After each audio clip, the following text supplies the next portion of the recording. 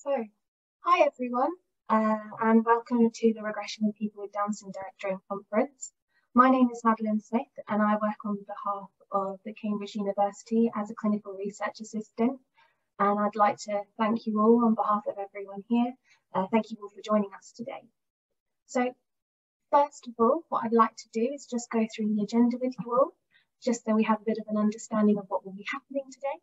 So we will have um, Carol Boyce, who's Chief Executive of the Down Syndrome Association, who will be speaking first. And then our second speaker will be Dr. Stephanie Santoro.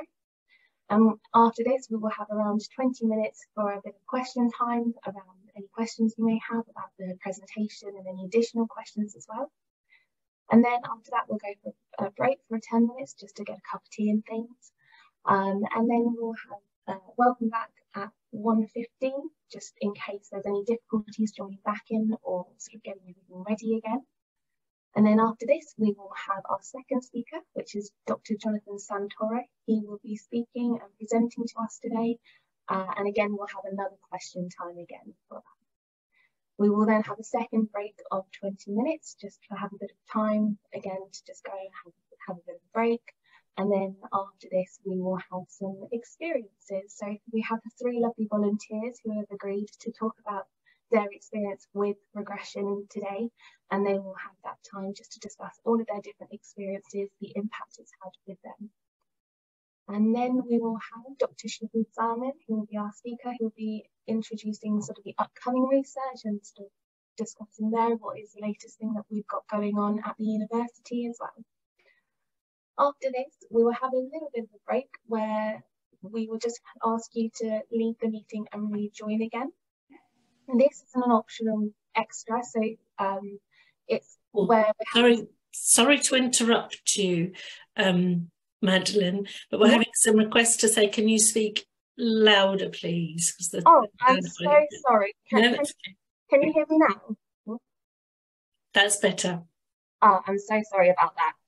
Um, so we will be doing the experience, people's experiences. So we have three volunteers for that. And then we have our third speaker, which is Dr. Shahid Zaman, who will be talking about our latest research and upcoming research that we are doing at the University of Cambridge. Um, and then finally, we will have a, a breakout room discussion, which will be discussed a bit more in detail later on, as it will require sort of a bit of a change in the, in the meeting formatting. Um, but this will be where we give you the chance to talk to other people and share your experiences and understanding and have that chance, chance to talk to different people about what, what has happened for yourselves as well. And then coming together finally at the end to discuss your feedback, your response, and all of those understandings as well. Anything you'd like for us from us in the future as well. Okay, so, um, firstly then, I would like to introduce the Chief Executive of the Down Syndrome Association, uh, Carol Boyce. Thank you, Maddie. And hello, everybody. Um, we're delighted to be able to co-host this webinar today on such an important topic. We know from inquiries that we receive from people who have Down syndrome and their families that there is real concern about this particular condition. And so much so that we contacted the team at Cambridge because we were really concerned about it and we felt that we needed to try and do something to find out more about regression. And we were del we're delighted to say that the team said yes. And we're currently funding Maggie's work at the moment. And I hope we'll be able to do that um, for some time to come. It's not the first time that the DSA has funded the work of the team at Cambridge. Um, we certainly, I think we're into double figures now in terms of the projects that we've done with this brilliant team.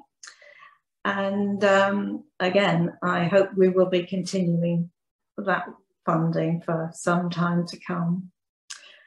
DSA is a relatively small charity, but we do support and sometimes fund research. In fact, quite a lot of research. We also work very closely with the Down Syndrome Medical Interest Group of UK and Ireland, and I'm pleased to say that we have members of that group on the webinar today. So we have some great speakers. Um, I'm sure that um, you'll find this webinar extremely informative and extremely useful. And I'm now going to hand you over to Dr. Shahid Zaman from the Cambridge team, who is going to take you through um, what's going to be happening today and talk a little bit about the speakers. So over to you, Shahid.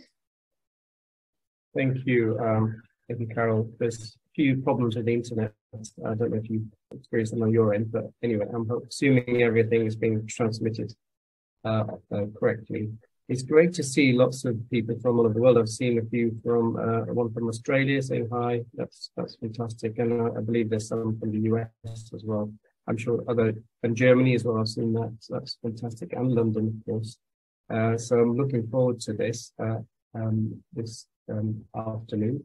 Um, so I think what, what we'll do is uh, I am I'm the um, head of the Cambridge Intellectual Disability Research Group in Cambridge University. I'm a psychiatrist by background, and I've been working uh, in the field of Down syndrome for over 10, 15 years. Um, and we're, we're very interested in, in this area.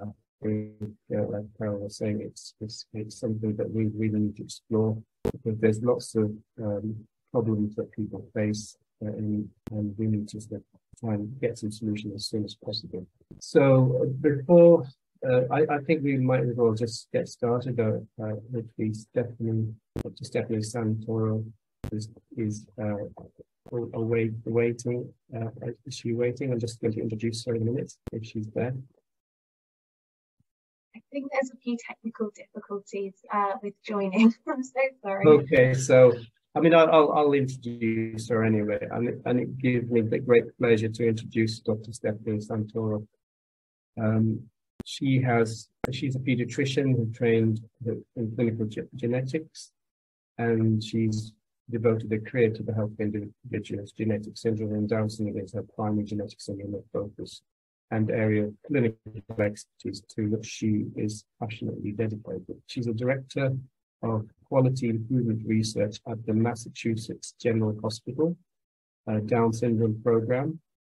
Um, and within the field of Down syndrome, uh, she has specialized in quality improvement approaches and increasing adherence to guidelines for medical care. She's a graduate of, uh, hi Stephanie, I've just started your introduction. I knew you were coming. Again, thanks for coming. Um, uh, she's graduate of uh, University of Cincinnati, and uh, where uh, she completed a residency at the Children's Hospital there, uh, Medical Center. She's currently an assistant professor in pediatrics at Harvard Medical School, and she served on the Health Advisory Board of the Medical and Scientific Advisory Committee of the Mass Massachusetts Down Syndrome Congress, the Board of Directors of the Down Syndrome Medical Interest Group, is obviously very relevant to our topic, and the Executive uh, Committee of the American Academy of Pedi Pediatrics, Council and Genetics. So this is um, this is great. Thank you so much for joining us, Stephanie. I think we got some really stellar people on this topic. Uh, you've done a lot of work in this area. Um, so I'll hand it over to you. Uh, you'll have to, I think you know what to do, share the screen and thank you for that. Uh, great. Thank you so much for the introduction. Um, I'm excited to be speaking with you guys today about regression and Down syndrome. Uh, are my slides showing okay for everyone? Just let me know if not. Um, yes, we can hear you and, and we can see the slides. Thank you. Great, great. Um, yeah, so this is a topic that's kind of near and dear to my heart. I, um, as a, a young uh, kind of intern resident, um, I saw a few patients with this. And when I went to a Down syndrome meeting, I, um, I saw a presentation on this and it really sparked my interest. And um, I'll be talking about kind of my experience and research we've done in this area over the past few years.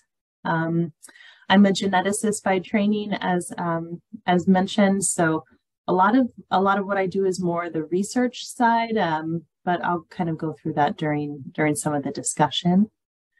Um, so I don't have any disclosures to report related to the presentation I'll give today. Um, as mentioned, I do volunteer and I do get uh, research funding um, from the NIH and from a research um, group here in, in the US.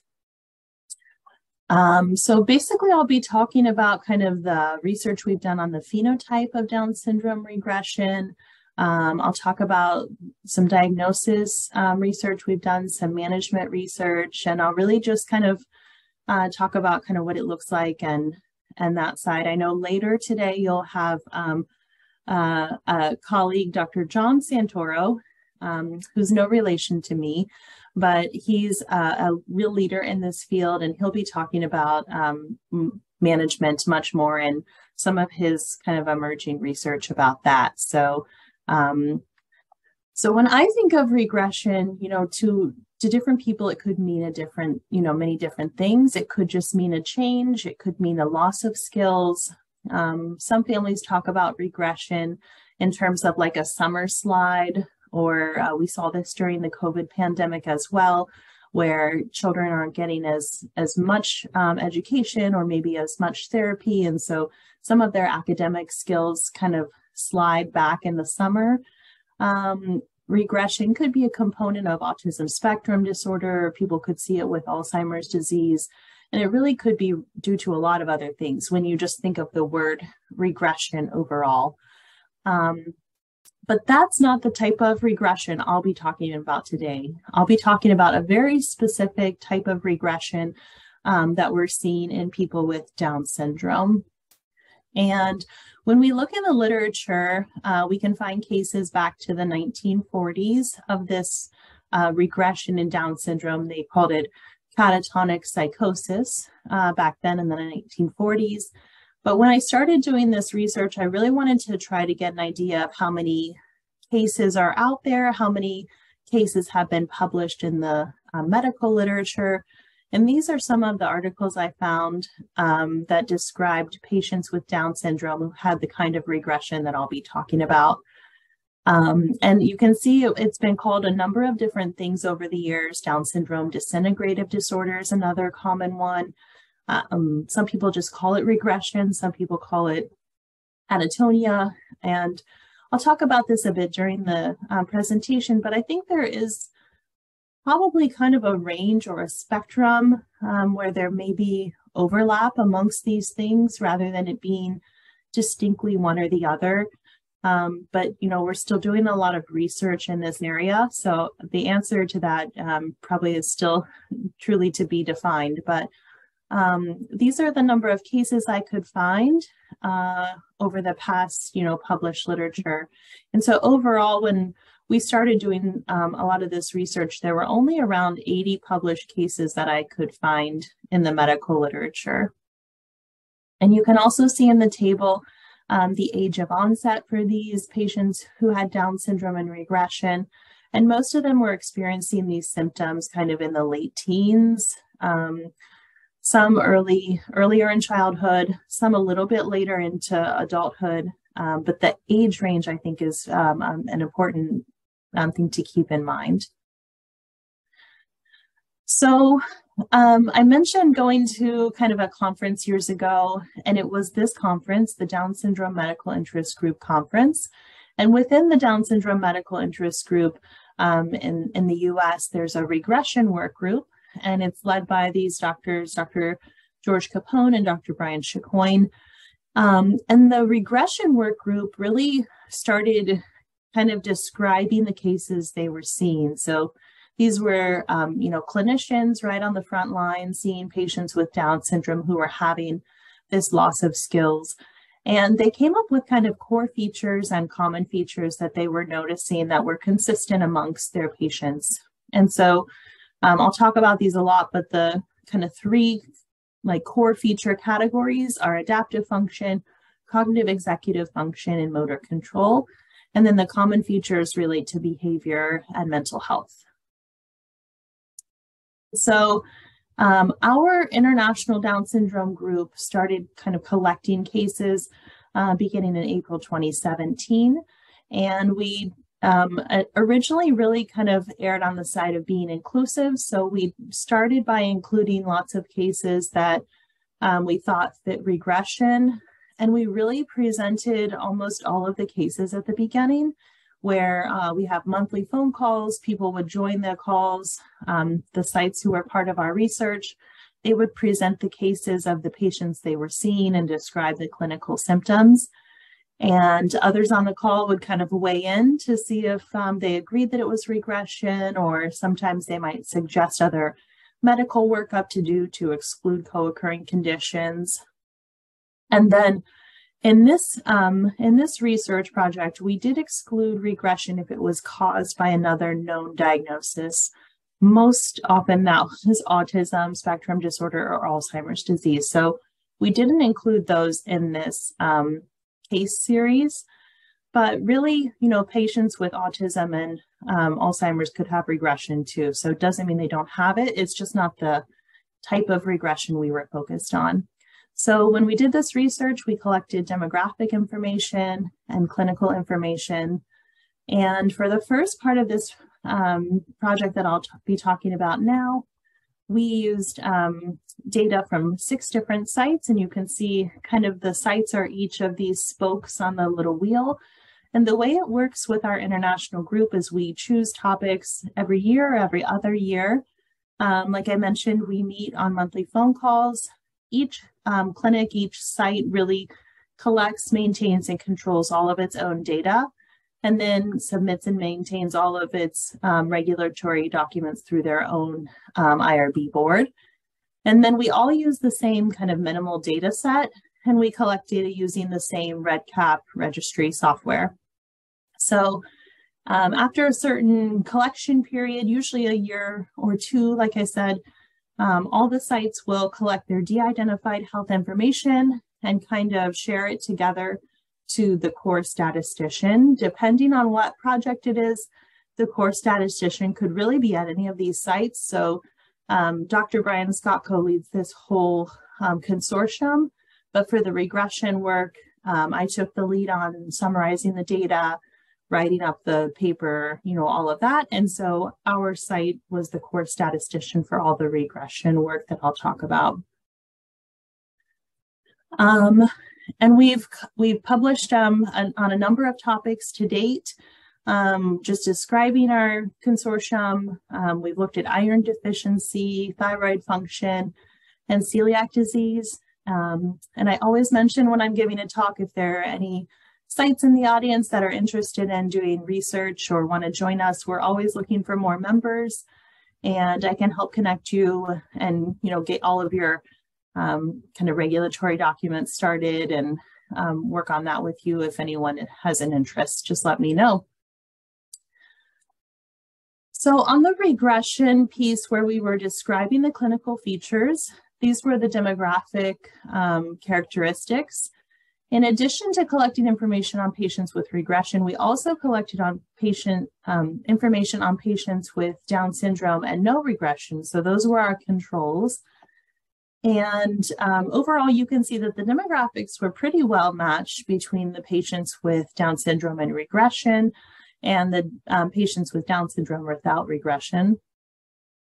And of these uh, 35 patients with regression, 11 of them um, had a negative medical um, workup, like a fully negative medical workup. And I'll go through all of this a little bit more as I kind of walk through the data with you. So I mentioned kind of the core features and the common features. So we'll go through each of these. For all of these bar charts, blue are the patients who had regression, and orange are the controls with Down syndrome without regression. So you kind of get a flavor and a sense of what regression looks like as, as we walk through these. So on the core feature of adaptive function, um, some of the, the common things that we see in patients with regression are um, changes in social skills, so more withdrawal, avoidance, isolation, um, spending time alone. And for all of these, it had to have an onset of three months or greater. Um, and then other features are things like changes in their functional ADLs or changes in their speech with kind of um, softer um, or less speech. Another core feature is cognitive executive function, and the features on this um, in this area are changes in attention, and you can see kind of the description of that, changes in their functional skills, um, getting lost, confused, or disorganized. Um, procedural memory, this is one that I really uh, noticed or really jumped out to me. These are patients who previously could, you know, do tasks in their life like um, taking a shower, taking a bath, and now they would kind of almost forget how to do that. People would describe that they would walk to the shower, the water's running, they're ready to get in and take a shower, but they just kind of freeze and stand there and aren't quite sure what to do next. Um, so that was a um, a feature that we saw fairly often. Um, and then for all of these, of course, on the on the top are the number of patients who had this of the 35. So 30 of the 35 had that one. Changes in learning memory, um, changes in planning and organizing, um, and changes in declarative memory. So for all of this, you know, at different times, people would suggest, could this be um, Alzheimer's disease at just a very young age? And it really seemed different and unique to us um, and not Alzheimer's disease at, at um, you know, teens and 20s. Um, and then another core feature are changes in motor control. Um, so you can see kind of some of the descriptions here changes in initiation motivation, mutism, um, stereotype movements, catatonia. Again, um, thinking of kind of the spectrum, only 19 of our 35 um, had catatonia listed. Um, and you know, you might debate if if they had catatonia and we just didn't um, detect it, or if we didn't detect, you know, detect it at the right time. But um, I think that is one piece that makes me suspicious. Maybe there's kind of a range with some people having more features of catatonia and some who don't have that. And then um, also extrapyramidal movements like um, freezing, rigidity, tremors. And then on the common features, um, these are changes in behavior. So externalizing behavior, this one we also saw in some of our controls, so this one wasn't um, statistically significant, but internalizing as well, again, just kind of that withdrawal, not wanting to be around people. Um, that one was more common in our patients with regression. So overall, when we looked at the diagnostic features I've talked about so far, they all differed substantially between the patients with regression and the uh, matched controls for everything except for the externalizing behavior that I mentioned. So we felt pretty strongly that this kind of um, well supported the clinical definition that that Down syndrome medical interest group work group had um, developed so long ago. Um, and then on the common feature of mental health, you can kind of see some of the features here. And when we looked at these, um, overall, patients with regression had four times as many mental health concerns. Um, and this was driven mostly by kind of issues related to mood, sleep, appetite, incontinence, and transitions. And again, for all of these, it had to be present um, three months or greater. And so overall, when we compared our the score for each of these five categories between our patients with regression and the controls without, we saw a pretty clear difference and we felt like this again really supported that proposed definition that the clinicians had developed. Our group has also developed a tiered medical workup, um, and this was developed kind of um, further back the, the, more the longer I give these presentations, but back in 2016, so it's been a little while. Um, but at the time, these were the evaluations that we were looking for to kind of rule out any co-occurring conditions that could either look like regression or could contribute to it. And you can see the evaluation and then the diagnosis that we'd be looking for here. And as you look at them, you know, we start with pretty common things like looking for thyroid conditions, um, checking hearing, checking vision. But then as you kind of go through the tiers, you get to more rare things. Um, and even as you kind of work down, you get to more advanced genetic testing, um, looking at genes that could go along with um, with regression. So some of our patients, we've done these tiers each year. They come back. Um, and I can kind of go through this on the next slide uh, about the results and what we found. So when we did this tiered approach, um, in these columns, you can see the first is our patients with the regression and, and Down syndrome, and this is our um, patients with Down syndrome and no regression. And um, you can see overall, the tiered evaluation, you know, it, it didn't um, have a very high rate of finding abnormalities. Um, these are the percent that are abnormal for each test. Um, but the, the place we were more likely to find abnormalities were on uh, vitamin D levels, sleep studies, um, thyroid antibodies, and celiac screens.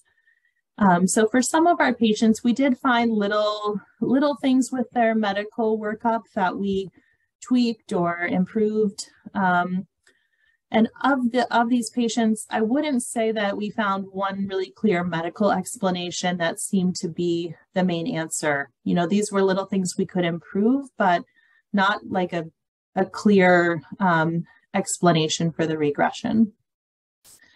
Um, and as I was walking through, I mentioned that some of the patients had additional genetic testing. Of our patients with regression who had genetic testing, um, some of them had like gene sequencing, whole exome sequencing, and of those, all of them have actually returned normal. I don't think we've ever found a genetic indication um, or explanation among our patients with Down syndrome and regression. Um, and again, it's not all, it's only uh, probably a handful, but they've all been negative so far. So I'm really curious to see as more um, people do additional genetic testing if we'll find any like, um, you know, causal genes or, you know, genes that contribute um, in the setting of trisomy 21 that kind of explain what's going on with regression. Um, and when we looked at um, an analysis of kind of the subset of patients who had a negative workup, um, or we, we use the term non-diagnostic, um, this really still reinforced the proposed definition. All of those scores still held up and really were um, substantially different between controls and regression. Tiered workup also includes a screen for stressors, um, and this includes stressors that were present six months prior to the onset of decline. And when you look at the controls versus the cases with regression, you can see, you know, immediately that there are different types. So the controls have, you know, additional colors um, that they were experiencing um, that the controls were not. And when we looked um, overall, at our 35 patients with regression, 25 of them had at least one stressor, again, um, present six months prior to the decline. And overall, regression cases also endorsed around six times as many stressors.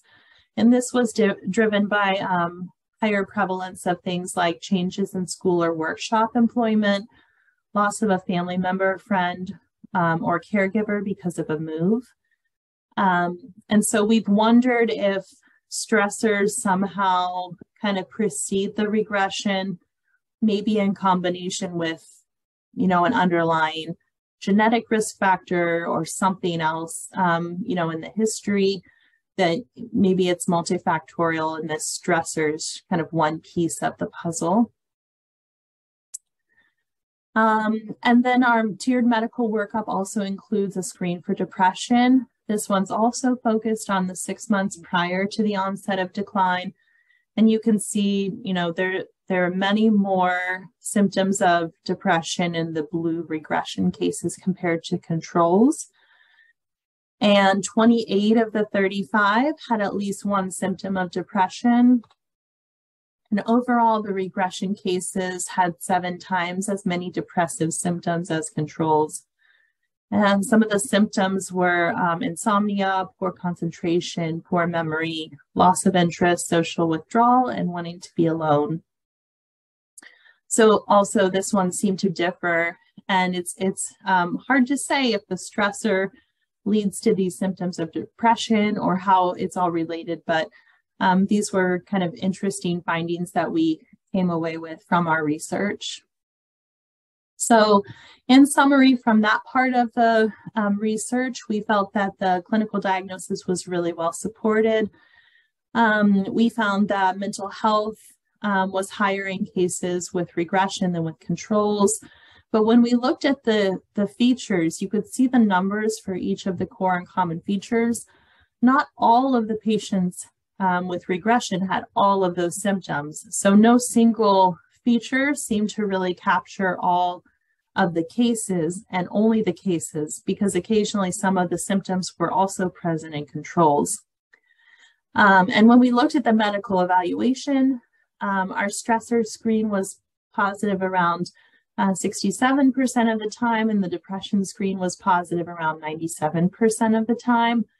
Um, but again, no single evaluation in the in the medical workup or the stressor and depression screen um, kind of identified the regression cases and only the regression cases because again, um, not all 35 had had any of those where none of the controls did, if that makes sense. Um, so overall, we we we got some good hints and ideas, but we didn't feel that we had kind of come away with a clear etiology, um, and that still kind of remains to be um, determined. And maybe you'll hear a little bit more from Dr. John Santoro on the etiology piece later. I wanted to mention that in our supplemental material, we have a 28 item checklist um, this was published back in 2020. Um, John has done additional work since then to develop kind of a consensus criteria. So um, I think either are okay to use. And if you wanted to look at this one, it really is a simple like present absent checklist. And we propose these different scoring criteria for clinicians who might encounter patients with Down syndrome and regression in their practice. Um, and lastly, before I start talking about the management piece, um, I wanted to just share this link with you. Um, it's a video of a person with Down syndrome who had this regression. Um, it was put together by her mother, who happens to be a physician. And um, I think it just really, um, you know, it, it, shows it much more than I could with words. And I think it's a, a great video if if anyone has patients like this um, and they're wondering or want to just see kind of um, firsthand the changes that can occur and what it looks like. So um, I, I, can share that in the chat. Um, but I think it's a great video if if you have time to take a glance. So next, uh, in the remaining time, I'll quickly kind of talk about different types of management. Um, so for patients with regression um, or Down syndrome disintegrative disorder, catatonia, I'll kind of use all of those interchangeably um, with regression. They've, there have been different types of management that have been tried, things like um, treating the medical co-occurring conditions, um, medications, IVIG, ECT.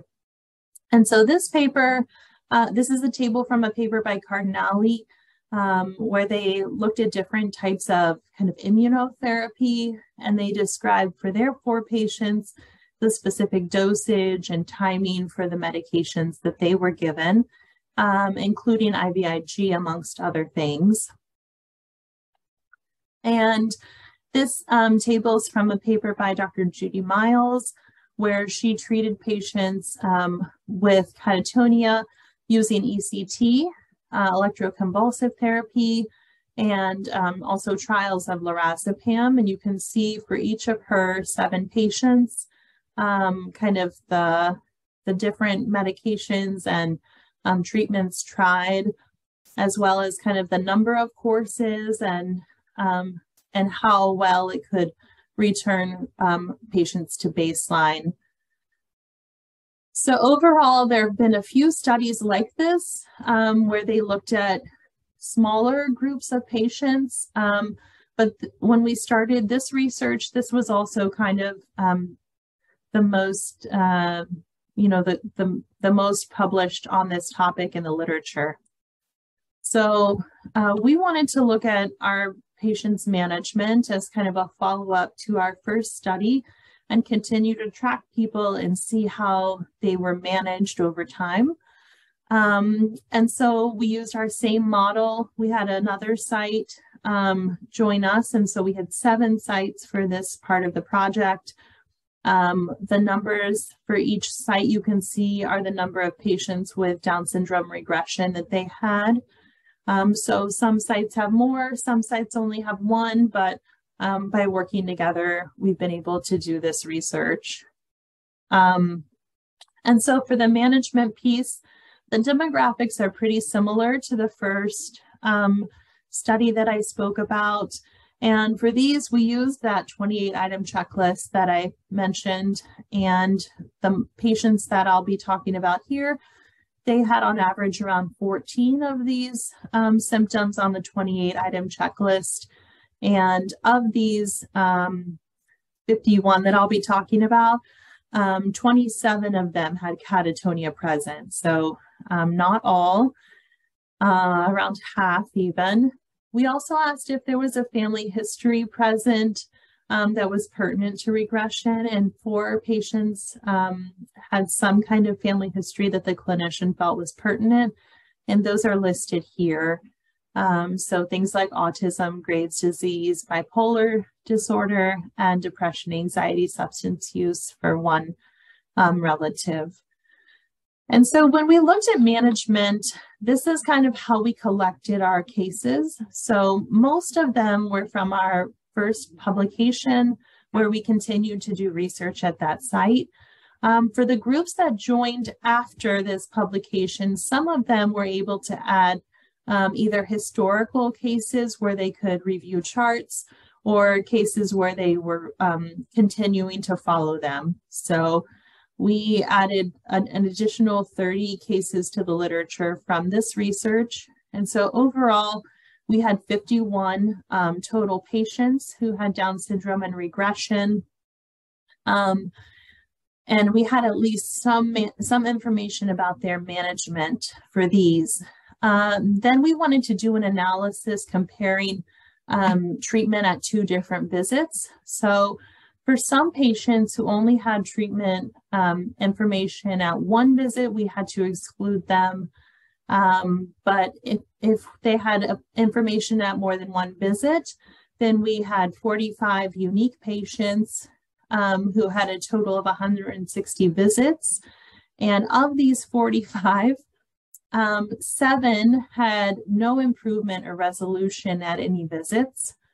38 um, had some amount of improvement um, where even at one visit, maybe they were doing better than the time before. Um, and of these 38, then 10 of them um, were cases where they had fully resolved or returned to their baseline before this regression happened. So I'll kind of walk through our data describing the management of these 51 patients. Um, so first, and for all of these, I'll be showing both the visit number and the patient number. Um, I thought it was important just for counting purposes to get an idea of how many visits people are going to and not to overcount the same patient many, many times. So I present both pieces of information in all of these charts. Um, so of our 51 patients, um, 12 of them had some kind of medical comorbidity managed or treated.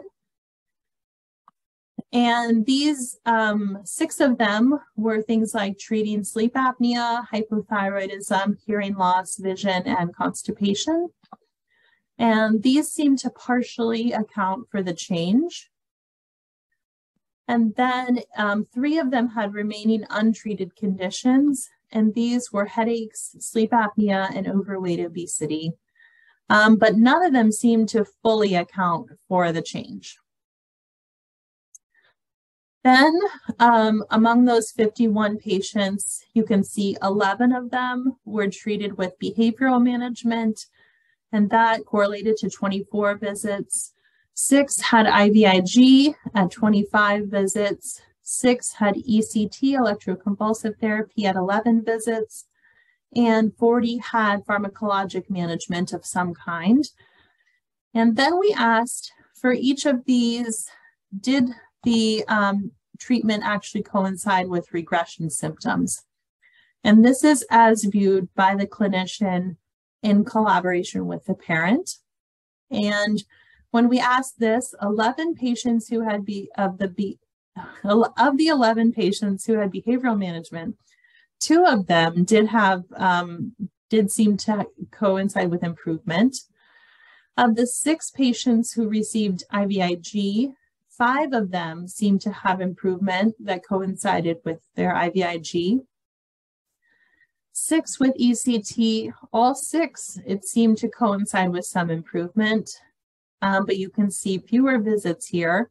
So these might be patients who were getting their ECT through a neurologist or um, or elsewhere, and then they were coming back to our Down syndrome program like once a year. Um, similarly for IVIG, some of our sites um, prescribe IVIG and some do a similar model where um, a, another um, physician like neurology, psychiatry would prescribe it. And then similarly for pharmacologic, of the 40 patients, 23 of them had coincided with improvement. Um, and also for, for this, some sites, they might be the one prescribing the medication, or they might have their patients just come back annually to check in um, on their Down syndrome management overall.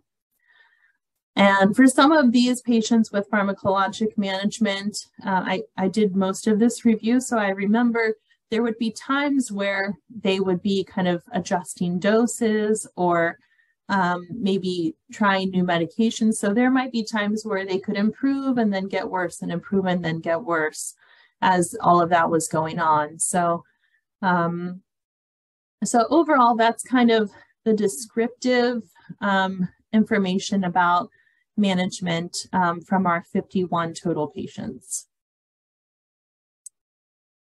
Then we did a statistical analysis of the one of the patients who had um, more than one visit. And so again, this is for 45 patients. And what we were doing was comparing um, the rate of improvement. So how often um, there was improvement after a visit when they were treated with um, a certain type of management. So, so this is really the the likelihood of improvement at a subsequent visit, if that makes sense. And so in this table, I'm showing the different types of management, um, the rates of improvement, and you can see they either were treated or not. And then the p-value comparing um, rates of improvement. So overall, when we looked at this data, um, we saw that IVIG management was the type of management that um, had the most significant p value and went along with um, improvement in subsequent visits. And then I've alluded to this before, but I think it's just important to think about, you know, is regression really a spectrum? Is it a distinct disorder? Are these different terms we're all using like different um, parts of the same spectrum, or are they really distinct and different, um, where maybe some have more motor symptoms, some have more mental health symptoms, or is there really more of like a spectrum with overlap amongst them all? Um, and like I've I've said, I think there's much more work to do on this front, and I think it would be great to have more measurement tools um, from diagnosis to outcomes and um, I, yeah, I think that's an important area. But we also looked at the group who only had catatonia listed in, as a symptom. So again, this is about half of our group. And we looked at the management type and the rate of improvement among that group. And we didn't see any statistical differences here. Um, and it might just be that this was a smaller sample size, but you know, there's there's um, suggestions in the literature that maybe catatonia would improve more with use of Ativan or lorazepam. And so we wanted to look at that specifically with pharmacologic management, and we didn't clearly see that. But again, it might be um, based on sample size. So more to come on this front. But um, in summary, ac across our seven clinics, we reported on 51 patients with regression who had the regression around um, age 17 on average. They showed 14 out of the 28 symptoms from our previous work.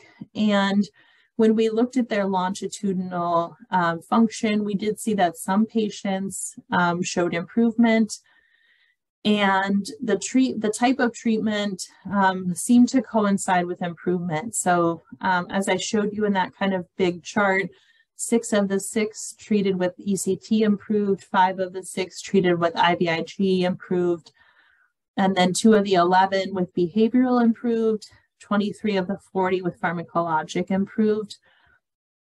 And when we looked at the rate of improvement on statistical analysis, we saw that IVIG was significantly associated with a higher rate of improvement in symptoms at the next visit. Um, I've mentioned Dr. John Santoro a couple times. He and I are great collaborators. Um, he'll likely talk about some of his work looking at both the international expert consensus and um, immunotherapy later. But I think he's really a leader in the field and a, a wonderful clinician to have in our uh, community. So some of the next steps, we're going to continue to collect cases, um, we're actually developing a management algorithm. Uh, all of the management data I've talked about is basically natural history uh, management data where we've just described and summarized what happened. But we're hoping to come up with an algorithm that we could use in, in real time and collect data in the same way prospectively rather than just looking back at what's already occurred. Uh, I mentioned outcome measures. I think there's really a lot of opportunity there. And we want to continue to just work with others in the field. And I think it would be interesting to compare and contrast the regression that we're seeing in patients with Down syndrome to the uh, regression that we sometimes see in the literature for other syndromes. So this is a um, quote from this article by uh, Dr. Kohlenberg that talks about regression occurring in Williams syndrome, 22q11 deletion syndrome, and it's also been seen in Phelan-McDermid syndrome. I've heard it's a very different type of regression. Um, so overall, I think we still need to figure out the cause, the treatment, the naming, and then ultimately this will lead to prevention. Um, we've thought about ideas like using the stressor checklist, um, you know, uh, as a screening tool in our clinic to try to identify patients who are at higher risk to develop regression. Um, but I think there's much more to come. I just wanted to acknowledge all of our sites that have done all this work. I'm just um, fortunate and lucky to be presenting on behalf of so many great people um, and acknowledging, of course, the patients and families um, and the Down syndrome work group I just wanted to give like a one minute um, summary of our Down syndrome program. Uh, I think it's unique in the United States, um, but we have four physicians, we have a large support team, um, we have lots of administrative support, psychology, adult therapy, psychiatry, advocacy, and a pediatric therapy team. So we see patients throughout the lifespan um, from prenatal all the way through adulthood. Um, and I think it's really nice to have that kind of long term relationship with patients and get to know families so well. Um, we serve as a multidisciplinary clinic, so people still see their primary care, and we provide kind of Down syndrome expertise and information. And lastly, I wanted to mention we do have an elective course for medical students that's through Harvard Medical School. I direct this course, and we've had students from all over the US, and I think we've had some international students in the past. So I just wanted to mention it if anyone um, has any interest. And I know I um, went over on my allotted time, but I'm happy to take um, time for questions in the in the time that we have remaining. Um, thank you so much. Thank you very much. That's fantastic. Um, really great start to to the webinar. Stephanie, thank you for. I think what we'll do now is um, I think everybody's clapping. You can't hear it, I'm sure. um, really great uh, introduction, and you know gives a it's given us a very lots to think about and improved knowledge of people who are familiar with the condition. But there's questions I think we have. Mm. Uh, people can have ask questions. So in the Q and A, people, people can put in questions, um, and I can read them out if that's okay with you, and then you can try and answer them. Um, says one of them here is from Paul B. Considering the relatively low number of abnormalities picked up through the tiered investigation model, is that under review to be any more targeted? So be more specific because you're kind of doing a quite blanket thing, unfortunately. Yeah, that's a great question. So I mentioned, you know, how long ago we came up with that tiered workup, and I do think it has changed over time. Um, I don't think that we're getting to those lower tiers because we've just found it to be non diagnostic for our patients. But then at the same time, we're working off of small numbers. So I don't know that there's enough data to say, oh, we don't need to do this tiered workup. So uh, kind of a bit of both. Um, and I think John may talk about this too with some of his international consensus work. Um, what tiered medical evaluation should be included was part of it. So um, I, I'm happy he's done that since we started this. And um, I, I kind of follow his lead on what he's suggested. Yeah, great question. Yeah, so it's uh, it's an important question, of course, because it's the burden as well associated with all the, with these investigations. Another question from Hilna. Um, can I remind people if they could, if they are putting in questions, could them put them in the Q and A, which is separate from the chat, because otherwise I'll, I'll miss it. So the question here is: Should this screening for regression be offered covered as part of the annual health check in the UK. So in the UK, we have annual health checks with the family practitioners uh, have been tasked to do just a screen to look out for, you know, heart, heart. So do you think that should be included in, in, in the, the health check? Yeah, I think I think it again would be a bit of a balance. So, you know, I presented 50 patients, I could find 80 published. So we don't have great information on prevalence data, you know, of uh, how prevalent uh, this regression is for Down syndrome.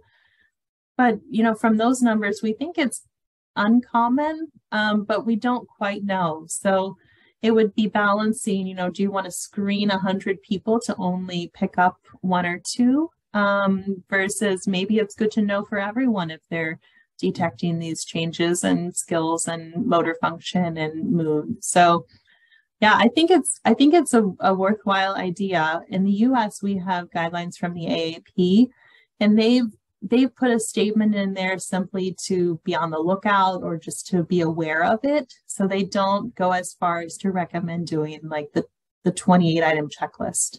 Yeah. Um, if I could just add a comment or question, I mean, you suggested that um, certain stressors such as depression may preempt the condition. So um, would that be some one of the reasons for you know trying to uh, look for, for this, and then maybe well, the hope is that if we treat that, then you may not get the onset of regression. Yes, I think that's. I think that would be a great idea to to screen for either the stressors or depression or both, um, because you'd want to know about those uh, beforehand, regardless of if they have regression or not, because you'd want to try to to treat them. Yeah, I think that's a great idea. And also to relate it to so often the stressors are like transitions when someone can from other into going into adulthood. So one could anticipate that and make the journey a bit, safer. So next question, uh, can you explain pharmacologic uh, management? What drugs are you talking about? So I think you did mention a list of drugs that people tried, but maybe you want to comment on that. Yeah, that's a good question. Um, I did all of the like summary tables and data, and I will just say it's a bit messy. Everyone was on their own medication kind of regimen. There weren't like a clear um, a pattern that I could see. And one in our last paper, we have all the medications summarized in one of the supplements um, especially for the 10 patients with regression who fully resolved. Um, but so people were on typically like SSRIs or um, benzos, but it could be either of those or the combination or other things. So that's a bit hard to answer. Yeah. Thank you. I'm assuming the, the clinical logic would have been that uh, if it's someone who appears to have depression, you give an SSRI. Yeah. Or such as citalopram or sertraline, or if it's something that looks like catatonia, you give some benzodiazepine, for instance. Yeah, I guess that was the logic. But I've seen memantine in there, but I don't know where that comes in as a possibility. So go to the next question. Um, please check the, oh, people ask, it says, it says here, please check the chat. Um, so uh, yes, I did say if we could put the questions in thing. I don't know what to do here. But let me just check the chat to give them a chance if we missed anything.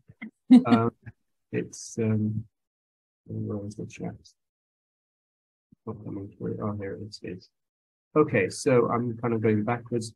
Uh, were dual diagnosis ASD omitted from uh, the studies? So if someone had autism as well as uh, so prior to the onset? I think that's what the question means from Anita. Yeah, in in our studies we did just to be very clean about um, describing the symptoms in that first study. So we did exclude them, but I've seen it um, described in the literature where people have um, co-occurring Down syndrome and autism, and then later in life have another regression. So I don't I don't quite know what to make of that. If it's a similar regression to what we're seeing, or if it's more related to autism. Um, yeah, that's a tough one. Thanks. Um, so again, I'm just reading the chat because people should put it in the Q and A, but it's, it's asking for the way they can get the 28 uh, checklist. Um, students mm. publications. Is that right? Yeah, it's in the supplemental material, and the supplemental material actually is like directly available through a link. So I could e- even send a link to you all if you're interested. That'd be great if you could. Yeah. Uh, if you could put it in the I'll chat. share it with Maddie. Oh yeah, or I can put it in the chat. Yep. Maddie can do it. Okay. Um. Now, I'm just going again back and forth. Um. We've got a few more minutes for, questions, and thank you for staying with us. Um, so I'm going back. Um, okay, so I've got an interesting question from Mark S. Stresses are identified by events. What about measurements of stress, such as heart rate? I think he means like uh, autonomic outputs, like wearables, or even cortisol. So people obviously have Fitbits and, and the like. Of course, so similar biomarkers that can be measured in saliva. Um, he said, I haven't found anything on stress markers for regression yet. Stresses are always highlighted. Yeah, that's a good question. I don't think I've seen that either. Anyone measuring cortisol levels or or you know physiologic indicators of stress. I haven't seen that either. That's a really good idea though. People yeah. are looking like at the stress itself or like the experience, but not the yeah, not the physiologic piece. That's a great idea. So again, I'm in the Q and A. Um, Judith asks, um, says, "Hi, I don't think onset seizures featured in your findings? Is there any evidence in the following uh, follow-up uh, patients with regression that more likely than controls? So if they, had, if they had any seizures prior to, um, so as a, as a kind of, I guess, either a feature or, or a stressor. Yeah, I'm trying to remember. I don't think any of our patients had new onset of seizures during the time of regression. Um, there may have been at least one that had seizures previously as a you know previous diagnosis before the onset of regression Um, and some of our patients did have EEGs and MRIs, um, and those were negative. Um, those were, we didn't find anything there, but I can't comment to like the long term experience. Of course, we know that there's uh, two phases of prevalence wise of, of, in Downs with seizures. First onset, that would be earlier age, and the later one, which is where associated onset of dementia. Alzheimer's, yes. Mm-hmm. Yeah, I'm going backwards now. Abigail asks, it, it's, it, and this is quite interesting. It looks like there's a big overlap between depression and regression. Please could you explain how regression is diagnosed or considered to be likely in comparison to depression? Yeah, I think, yeah, great question. So I think each site is a little bit different. And so at some of the sites, um, the person who is kind of the main PI at the site is a psychiatrist. So they would be managing, um, you know, the depression um, and the regression, um, you know, front line. At our site, um, we have a psychiatrist affiliated with our program. So whenever we see patients with regression, we actually kind of try to tackle everything at once. So we typically refer to psychiatry, neurology, start the medical workup, and kind of like um, really do it all at once to make sure we're trying to address it as best we can. Um, yeah. Right. I'll try and squeeze a few, few more questions, although we're heading towards uh, five past, which is when we're supposed to be stopping. But I might go uh, use the, um, the chairman's um, exec uh, executive to go a little bit. There's so many great questions here. What percentage of DS community in teenage years do you think uh, develop unexplained regression? I know we discussed the lack of prevalence data, but probably. Yeah, yeah. Rough, rough approximation. Yeah, I I would say it's hard also because over time, I, I, my view has changed a bit. when we started this research, I thought it was quite rare, um, just based on what's published and what's out there. Um, but as we've started doing it, more and more people start coming out of the the woodwork, and so I still think it's uncommon, but I it's hard to put a number on it. I would guess maybe like less than five percent, but mm. I'm not sure. Yeah. Uh, I think we kind of suggested uh, a way around this is there Marcus that asks is there a need for a database to record these kinds of serious events uh, for example parents carers with input information but I think we often have difficulties with from research point of view of the ethics but maybe you can comment on that. Mm.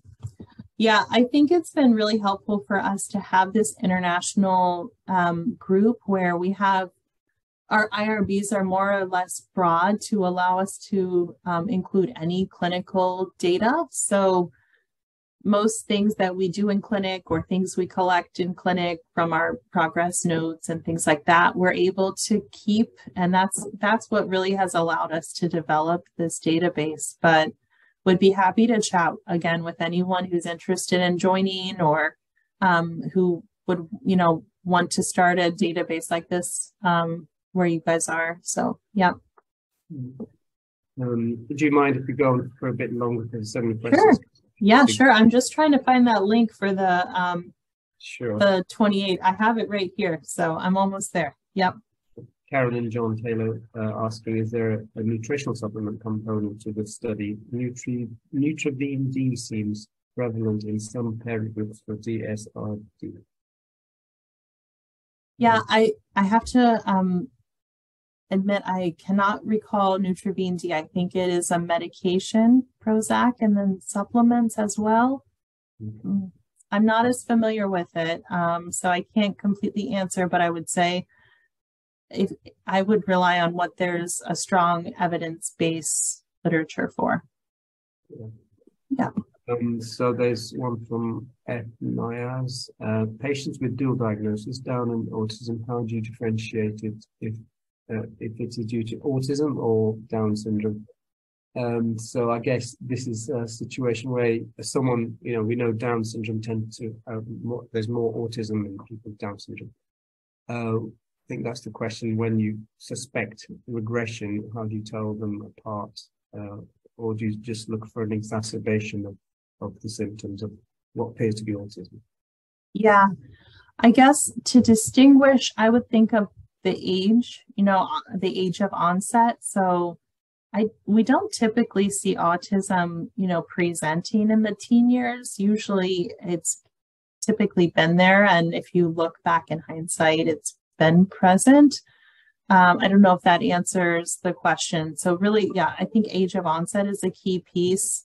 Um, yeah, and and previous developmental history as well. And um, I I think it sounds like you you you. This is my question, I guess. Is it sounds like it's. Um, I mean, I always thought whether this is a kind of a developmental thing because uh, you use you know using you said you're looking at phenotypes or whether this uh, would you consider in sort of disease models as uh, an acquired condition, if you like? Because we yeah. did say it could be triggered by stress. What's your views on that? Yeah, that's a tough one. Um, I don't know. I, yeah, I don't know that I can clearly say if it's more acquired or um, like congenital. Um, but I wonder if it's like a combination of things. Like you have some inherent, maybe family history in your background or a genetic, you know, risk factor, and then these other things occur. So I guess I would lead toward acquired, but I, I think there's still a lot to, to know. Yeah. So I think we'll do two more minutes. Uh, I know we've gone well over. Uh, from Janet, uh, the question is, how would IVIG and intravenous immunoglobulins help? Uh, yeah. I think if it's a question of mechanisms or whether what symptoms actually improve compared with ones. I don't know which is the question here. Yeah. So for our patients with IVIG, I've only had a few of my own patients who received it, but really all of this, you know, most of the symptoms um, improved overall. And I think that goes along with it be it you know coinciding with the higher rate of improvement at next visit that we really do see a difference but i've also had patients who've tried ivig and they didn't see a difference not included in this cohort so um, just to mention that as well but john santoro will talk a lot more i, I bet um, this is really his area of expertise like the neuroimmunology piece so he could probably share data and talk more about the mechanisms and everything. Yep. Um, I think we might have to make this the final question. It looks as if uh, about this is from Leo Samuel, it looks as if about half of the people were recovering from catatonia, whatever treatment was offered. I think that you showed a table. And yet yep. your data showed only a small number of people whose condition improved having received behavioral intervention. So the question, does that mean that behavioral intervention correlates with a poor outcome or can it uh, do more harm than good? And what kind of behavioral intervention would be more helpful? Yeah, I have to um, admit I don't remember the specifics of behavioral intervention. I think some of it was um, just like general behavioral supports. Um, I would guess that when we see someone with regression, we want to you know, tackle it as strongly as possible. So um, behavioral intervention seems to perhaps like take more time and training and, um, you know, um, learning uh, to see a difference. So I'm wondering if we start with the other things first because we really want to like go go as um, as strongly as we can. Not mm. to say that behavioral intervention um, isn't helpful, but just in our group, we really didn't have that many who received that as the form of treatment. Yeah. That's great. I think we're going to have to stop here. We've gone beyond time. And uh, again, I'd like to thank you for giving us time. And it's been, I think, as you can see from the questions and interest, it's been fantastic. Yeah. So, Maddie, you could just very briefly tell us what we're doing in Cambridge because we've we've been um, you know you, you can start the you know, in terms of addressing this problem. Um, yeah, absolutely. So um, I hope everyone can hear me a bit better now. Um, if there are any issues, do just let me know in the comments. Um, what we're aiming to do at uh, Cambridge is to focus at regression at the regression itself. We're trying to focus on gaining a further understanding of what the symptoms are around it and trying to get a bit of a, a collective going in sort of getting an overall understanding of the process behind it as well. So sort of understanding people's past experiences, um, what the first symptoms were, and sort of looking at that change over time as well. Um, we are currently in ethics stage at the moment, so there's a lot of background work going on, but we are hoping to get this out very soon. Um, and we are, our, the lovely Down Syndrome Association have agreed to help us sort of uh, advertise as well. So hopefully collectively we can all sort of get further understanding of the research, of the regression as in your own experiences, in your personal experiences within the UK, as well as sort of hopefully extending it out globally as well in, in the future. That's great. And we'll we'll sort of have a bit more formal sort of um, information available uh, through the Down Syndrome Association. Um, and so you can contact Maddie and myself and then we'll try and sort of take it further. We're still in the stage of, of completing what's necessary for all sort of this sort of research ethics. We have to go through ethical approval before we can do that. We're nearly there. So uh, once we have that, we'll be very interested in hearing from people. Um, uh, just trying to understand uh, in the similar way that you heard from uh, Stephanie, what they've done uh, with collecting cases and trying to understand how you know what what the issues are. Um, you know they've done quite a lot of work already, but I think there's still more work to be done. Thank you. So I think what we'll do then in that case. So so Maddie, you want to introduce the um, the next? We're skipping yeah. one um, change of slight change of plan. We're going on to the um, ex people's experiences. We've got uh, volunteers. Do you want to take take over yeah. Absolutely. So um, I hope uh, it's okay with them all. Um, we have Jane uh, first, who is going to be talking about her experience um, uh, throughout her course of progression. And she's joining us now. Oh. yeah, so I'll just go ahead, Maddie. So um, I think um, um, I'm going to tell you about my son Andrew. Um, Andrew is uh, now 27 years old, um, and uh, he thrived. We were living abroad. We lived in Malaysia, and Andrew um, was thriving in mainstream school. He was um, an accomplished drummer. He loved drama. He was really into football and badminton, and then he just stopped. Just stopped. Everything, um, everything everything just stopped. He stopped eating, he stopped drinking, he stopped moving, he stopped speaking. Um, and I think if I had to describe the experience um, for him and for us in one word, it would just be traumatizing, really.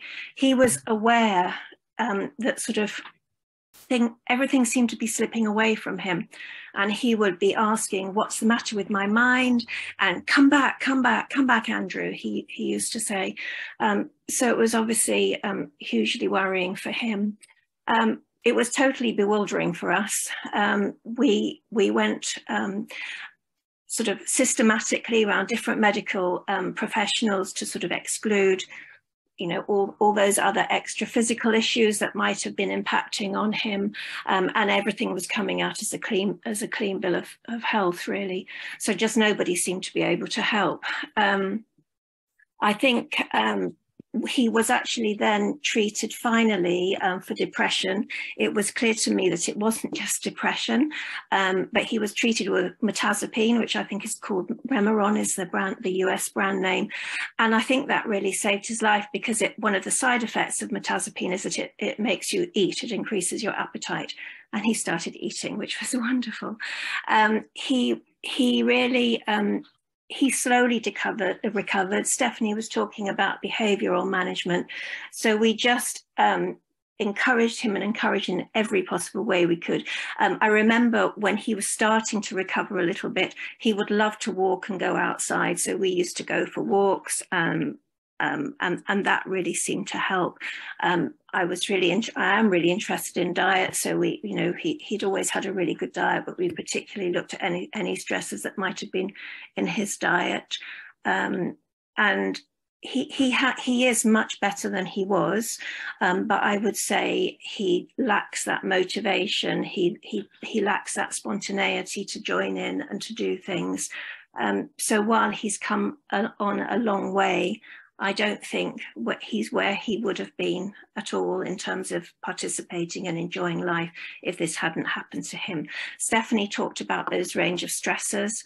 That definitely, definitely um, was was so with Andrew. He'd lost we'd lost two grandmas within six weeks of each other, several months before. So we thought we talked through that. We thought that we'd done all the things that we should have done, um, you know, to help him through that. But but months later, this happened. His elder brother had also um, left home to go to university. Um, because we were in a British school overseas, um, his four best friends had left um, I think at the end of year eight to go back to their home countries or, or, career moves for their parents or whatever. So I think that whole sort of social support at school fell away. At the same time, by year nine, it's getting quite stressful in a mainstream school because people are sort of talking about GCSEs on the horizon and, and, and pushing um, um, you know, sort of pushing pushing people to get better results and however well they were doing, um, and he was doing really well. But he, but you know, he I think he felt that pressure. I also think um, at that time his friends are sort of getting bigger, stronger. You know, people that would have played basketball with him in junior school. They only want to play with the good ones then. So I think all those pressures as well of, of seeing other people develop at a faster rate, perhaps, and um, and and sort of boyfriend girlfriend stuff coming in um, to conversations that he wasn't so able to be included in. Um, sorry, I think I'm I'm gabbling this, but I think I would just say I'm so grateful that this is being looked at now to all you medical professionals because it was just just bewildering and I, I, can't stress how how difficult it was a place to be um, both for for Andrew and for us as a family and all his friends and school. Every everything that he interacted with um, it was just it was just horrid. And I'm so grateful to all of you that you're looking at it. Thank you. Thank you Jane. That was very nice of you to share Andrew's story with us and it um, you seem to highlight some you know all the sort of things we've heard uh, in the first presentation. You mentioned stressors. You mentioned a particular type of medication which is used in depression normally which improved him. Mm. so um, thank you for sharing that. Um, and joining us. So we'll go on to the next uh, speaker volunteer speaker um, is it I've got MR on your screen, so you have to just tell me, tell us, tell the audience who you. Who uh, hello, it's very good to uh, be with you, and it's very encouraging to hear everything. And um, yeah, I, uh, Mara, and I wanted to talk a little bit. Maybe if you can uh, share the the screen, uh, Madi will help. Just some pictures. I'm talking about Felipe. Felipe was 25, was after lockdown. He starting then, um, it was more or less October 2020. He was um, became become quiet, so he stopped lockdown, stopped everything, and that was very hard for him. He lost all his routines and he then uh, became very sad and would not speak, would not smile, and he was very uh, active. And um, uh, are you manage it, Madeline? Or okay, I'll, I'll I can share my screen quickly, or it's, maybe it's better if you do it. It, was that working at all? Sorry. If I share the screen again. Okay, let's see. Yeah. yeah, we we could see it, Maddie. Okay, wonderful, great. Are you are you sharing it, Maddie? I was. Let me try again for you. or I will do it, but I don't see the screen sharing button. So um, I'll keep talking and you share it. So Felipe was um, uh, very independent and happy and uh, would do a lot of um, was in drama. He was busy every day and he was totally independent, traveling, going around and um, was swimming. He was good in swimming. I have a picture of him. Uh, he was in the Special Olympics uh, swimming. And then um, the next one, Maddie. Um, and he likes to get gold and silver, but when he got uh, a bronze, he would hide it and don't wanted to show it. And um, he was in drama. He was uh, um, chosen to be Macbeth in in the main role, and he he would do everything excellent, excellently and traveling independent. But then we realized that he was getting lost even around uh, close to uh, um, the, ho- the home and became very withdrawn, would not like to, to do anything, and lost his um, uh, self-care. He would not be able to care for himself, was incontinent for both uh, pee and poo, and was very distressing to see him not be able to do much. And the uh, attention was um, very difficult. He would not be able to watch a film or would not be interested in touch his mobile or CTV that he likes to watch films and everything. And um, and very, very sad. Um, the next picture, please. The next three pictures you can show, Mad, please. And we would see him, doesn't matter what we would do, he was always sad. That face said that I almost would cry to see him uh, very sad and uh, scrubbing his hands that his knuckles would be purple, purple. And um, so we try, we at, at first we thought ah, it is going to pass when we start to do more activities, but it didn't. So we uh, went for trying to find the um, this disability team and it took very long for us to get a psychiatrist. They said that, that he needs medication two months before he would get a psychiatrist. So the GP got um, uh, liaise with them and we got the medication, didn't work. We have to change. And uh, every time I was thinking that I was drugging him anytime that the medication had to be, uh, the dose increased to to see if something would improve. And they improved a little bit, but not much. And then we um, also tried, asked for a psychologist and the occupational therapist, but we just got the psychologist last year in August and the uh, occupational therapist just now, three weeks ago. So it has been difficult to access the service and um, and then I, I'm, I'm realized that uh, the medication that he is on, uh, it's improving his mood and uh, dealing with anxiety, but it's not going to sort um, to bring the skills back. So we are looking for things. We went to, uh, we were in South Africa. People talked about uh, functional medicine. We had some advice on that. Try some things, but uh, maybe we didn't try hard enough or long enough.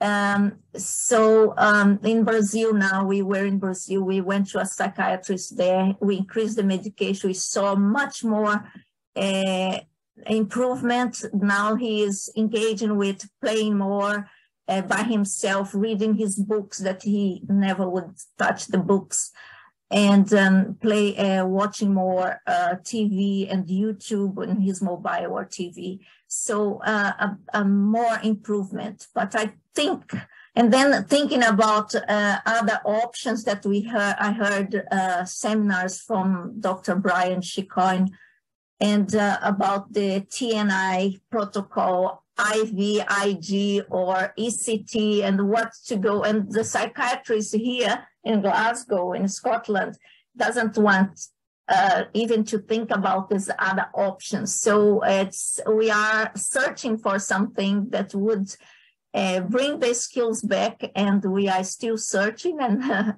hoping that something would come up more. We are very glad that the research is going on, is going to start, and and we might see more things happening. But I have hope that uh, praying that Jesus that rose from the dead and is alive can bring healing also. I'm praying that his skills will be all restored and he would have even new ones. So I don't, uh, trying to do whatever we can and uh, uh, searching for the help from doctors and uh, physicians and uh, trusting God to do what nobody can do. thank you very much for hearing and um, it's great to be with you. Here's the picture. I didn't know that I was going to show for to half of the world. uh, you again. That's that's wonderful. Thanks for sharing that story again. You know, it just goes to show uh, in the chats and uh, everywhere we're getting sort of lots of similarities coming through, some kind of pattern coming through. Okay, so over to you, Eunice. Uh, if you could share your experience with us, um, that'd be fantastic. Thank you. Oh, we can't hear you. Sorry, I've just unmuted myself. I'm sorry. Um, okay, I'm Eunice. I'm mother of Isabella, who's 22 years old. And prior to Isabella um, having this regression, she was um, very articulate. She was um, working. She actually had a job in a solicitor's office. She was an independent traveler. She had lots of hobbies and she, you know, she was a great swimmer. She did lots of things, horse riding, swimming, loved sports and um, socializing and, um, and had lots of friends and a, a really great social life. And I, as a parent, actually didn't recognize some of the symptoms I have to say because I actually thought she was actually being difficult and I feel really bad about that because she she can be difficult at times and you know uh, but um, anyway it started with the isolation isolating herself and not wanting to see anyone didn't want to go out didn't want to do anything. And um, and the thing that really triggered everything off was the day she ran out the house naked and um, it was so alarming this behavior it just came out of nowhere and it was just so so alarming to me and then after and then within that week we stopped talking we um, all lost all our self-help skills i mean she was able to shower she could cook she could feed herself. So I'm feeding her like a baby. I'm washing her. I'm dressing her. I'm doing, you know, everything obviously. So it was really, really so, it was just so sudden. It just happened so quickly from that time. And then we had no language at all. And then these autistic like behaviors um, sort of um, presented themselves and there was a lot of pacing up and down pacing pacing insomnia and um, and then talking to somebody but there, there's nobody there but she's just talking to somebody. And one time i actually said are you talking to somebody? And it was the first time she looked at me and said yes. And then went back to to to this kind of like um, sort of catatonic state. And um, and we had the speech therapist involved and she said it's beyond my help. I can't i don't know what to do kind of thing here. I've never seen anything like it but she agreed all those symptoms were very um, unusual. So it then became the battle to get get the help. And um, it was a long journey. I have to say it was a really difficult journey. And so luckily for me i've worked with pediatricians before. And so they were able to help me get the MRI, the blood test, the thing, because the GP didn't recognize anything. They just said I was being neurotic. And one of the things that was actually said to me was perhaps she's been sexually assaulted. That's why she's done run down the road naked. And, you know, this is a symptom. So for me, that was very distressing, obviously. So, um, anyway, we finally, finally got the help. And, um, we're now on um, citrulline, and I wouldn't say she's 100% because some of those autistic behaviours are still there, and there is occasionally the withdrawal. So we we don't want to sit with the family, don't want to be with the family. But I do think a contribution to that was um, lockdown, um, losing her job, and also there were other losses in within the family, very close family members. So not being able to articulate that I don't know, I'm just surmising, but you know, for me, I think the loss of the job was a very big one because she loved that job. That was her whole being. And then all the things that she was doing before, they sort of stopped the swimming competitions, the horse riding, everything finished. So, and I, I think they are contributing factors. So I don't know, but the citrulline certainly that has had some improvements, although it's been a lot of hit and miss. So we are being monitored regularly. And um, I think that, um, yeah, some of those behaviors that are still there, and sometimes it's hard to get her to come back from what she's doing. So, and then all that self learning she was doing before, she loved history, she loved, you know, and she was doing lots of um, online learning herself, and that all that stopped. And we're just starting to come back to that now. So that's where we're at. And I'd like to thank everybody so much, particularly Dr. Santoro for answering all my emails and reassuring me and really helping me. Thank you so, so much. Great, thank you for, for that. And and I think it's been great to sort of get a sort of real feel for what what we're discussing here. And, and as you can see in the chat, people are recognizing similar stories as well. And um, but my my impression is that you know people want help, and uh, you know we know that there's such a range of treatments that have been tried. And if even if you get to that stage, especially uh, we're talking about the UK, I think there's a lack of recognition uh, of this condition, and uh, I think we need to address that somehow. So welcome everybody. So it gives me great pleasure to introduce Jonathan Santoro, who's uh, who's a, is going to he's one of the leading experts, I would say, in this field. He's a pediatric neuroimmunologist, and he does he specializes in both diagnosis of, and treatment of autoimmune disorders of the brain. And his research has um, been in inflammation and uh, how uh, how it's involved in neurologic uh, diseases in persons with Down syndrome He's focused on cerebral vascular disease. People may have heard of Moya Moya disease, um, and also, of course, Down syndrome regression disorder. He completed his undergraduate master's and medical degree at uh, Tulane or Tulane, I don't know how to pronounce that, University New Orleans. Nice place in Louisiana. Um, and he did his residency uh, in pediatric neurology at Stanford um, before moving on to the neuroimmunology fellowship at Harvard Medical School. Now, he's developed an internationally recognized research neuroimmunology research program at Children's um, Hospital in Los Angeles and the Keck School of Medic Medicine. And uh, he's the first, um, he's opening the first clinical trial for, for this syndrome um, in the world this summer, which is, I think, very exciting. And I, I believe you, you probably will be talking about that. Well. Over to you, John. Thank you. Thank you, Dr. Zaman, for the nice introduction. And, and thank you, everybody, for having me. It's very early in Los Angeles. That's why it's so dark around me right now. Um, but, you know, I think that even before we get started, you know, hearing these talks, uh, hearing family uh, descriptions of what has happened, this is something that we've been listening to for the past three years. Uh, we've talked to families all over the United States, the UK, Ireland, uh, European Union, and even Australia, New Zealand um, and it's the same story over and over again.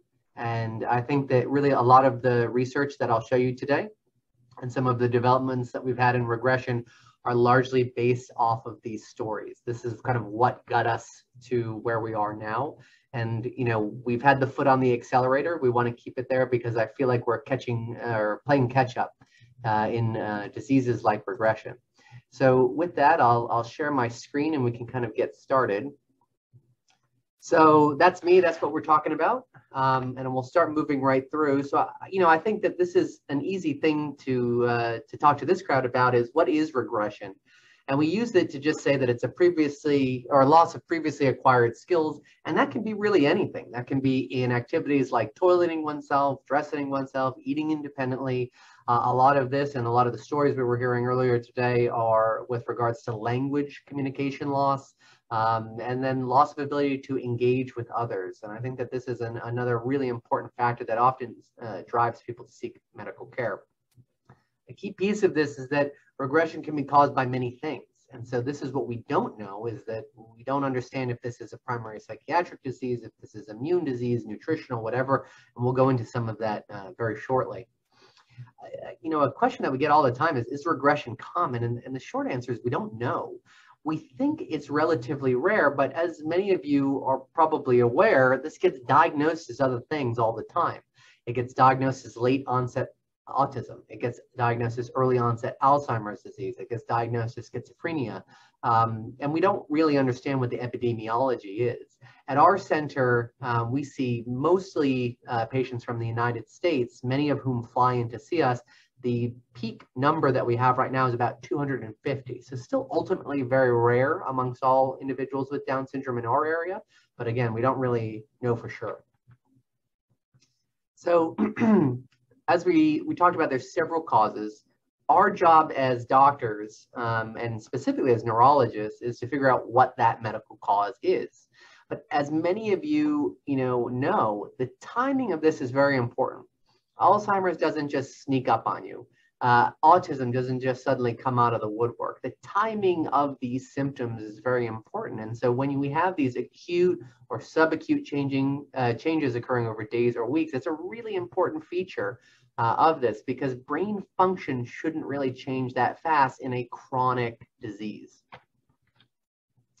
Um, you know, I bring up this slide. This is a, a, slide of an individual with what was probably Down syndrome regression disorder in 1946. This was the original paper published by uh, Dr. Rollin on the on the topic of a, a variety of different individuals who were institutionalized at the time because of these neuropsychiatric changes that were occurring.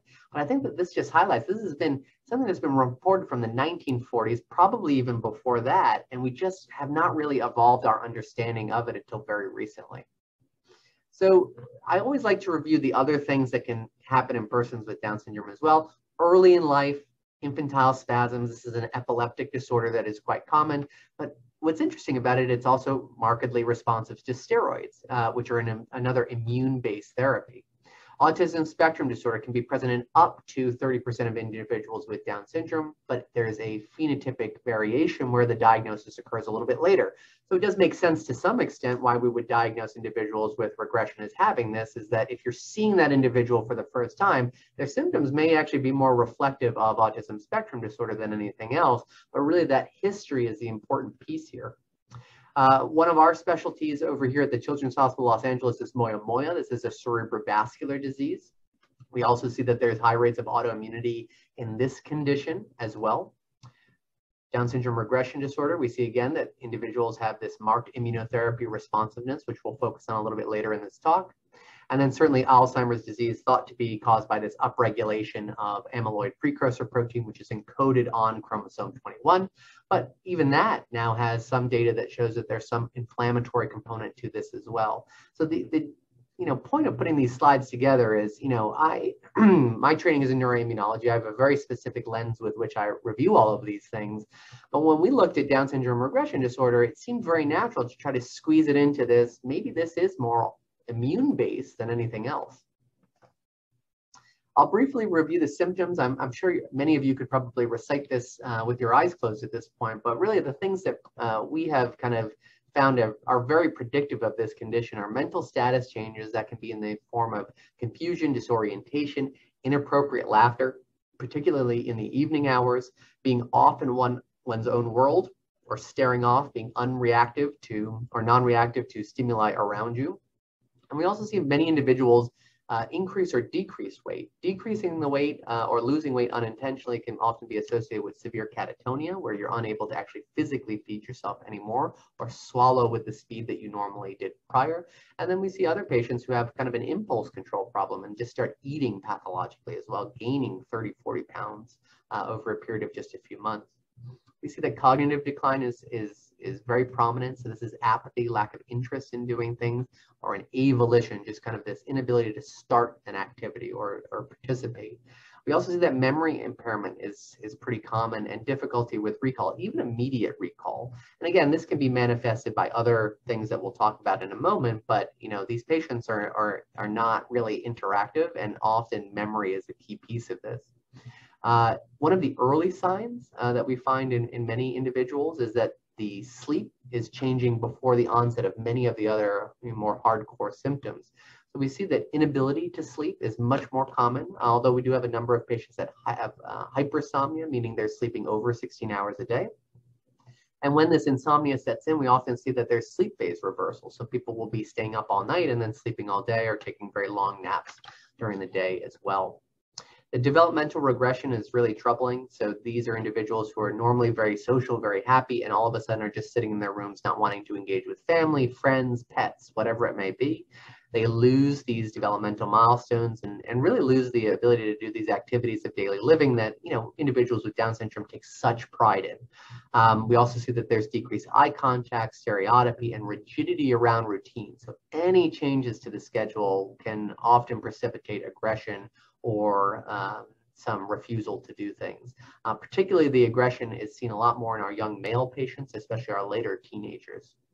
Obviously, new focal neurologic deficits need to be worked up immediately no matter what. That can be focal weakness, focal sensory changes, slurring of words, things of that nature. Um, the movement disorder is very prominent. So we see catatonia, which is that muscle stiffness. Uh, we see bradykinesia, where the movements are very slow. Freezing behavior, where patients will just get stuck while they're walking or trying to turn a corner. And gait disturbances, usually leading to the point where some individuals will just stop walking altogether. The language deficits are, are very pronounced. Um, so these can initially start as whispered speech, and then the total volume uh, of the output goes down, and then often patients will end up entirely mute. And we can sometimes get something called a global aphasia associated with that.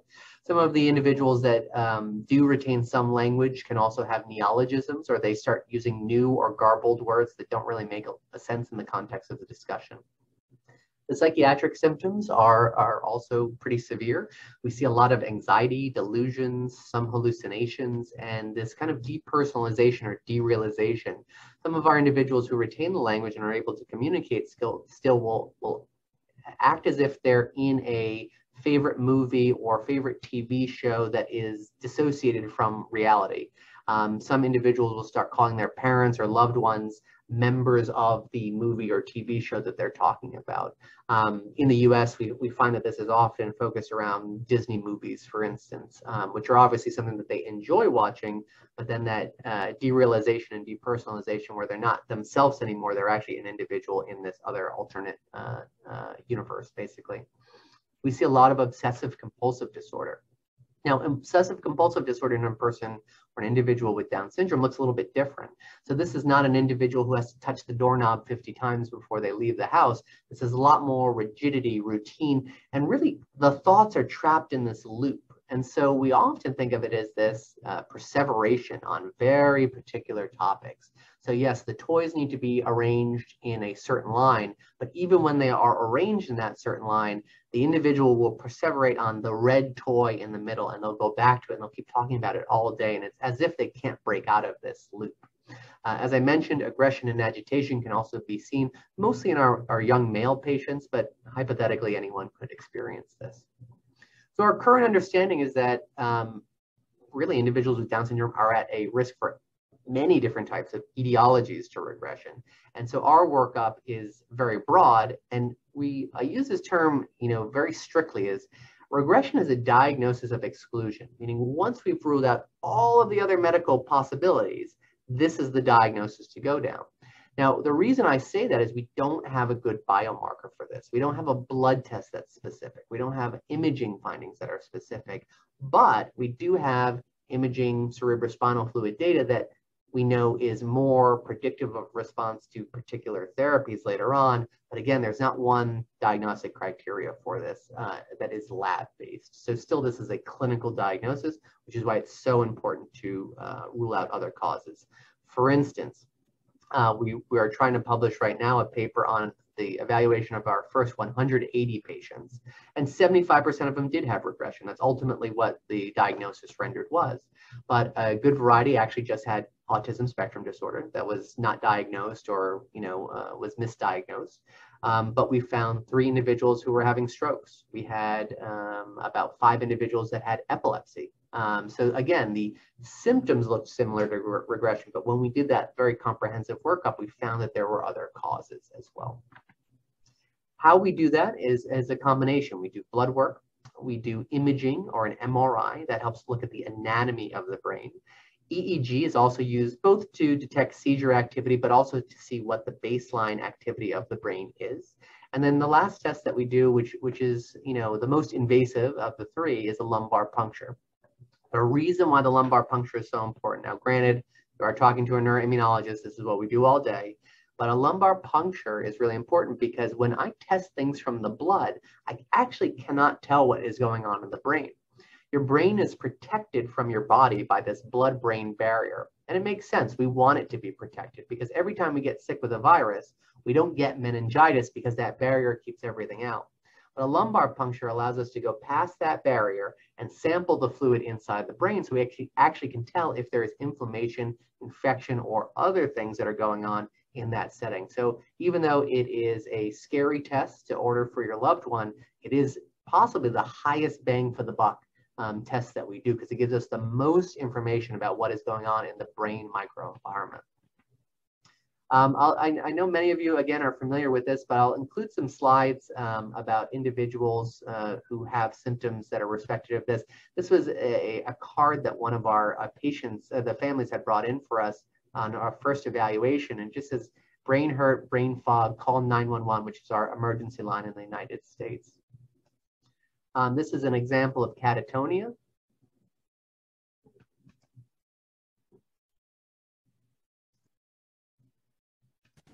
And release. Mm -hmm. You can see that the muscles are just getting stuck in those positions and they get maintained like that. Uh, this is another example of more severe catatonia.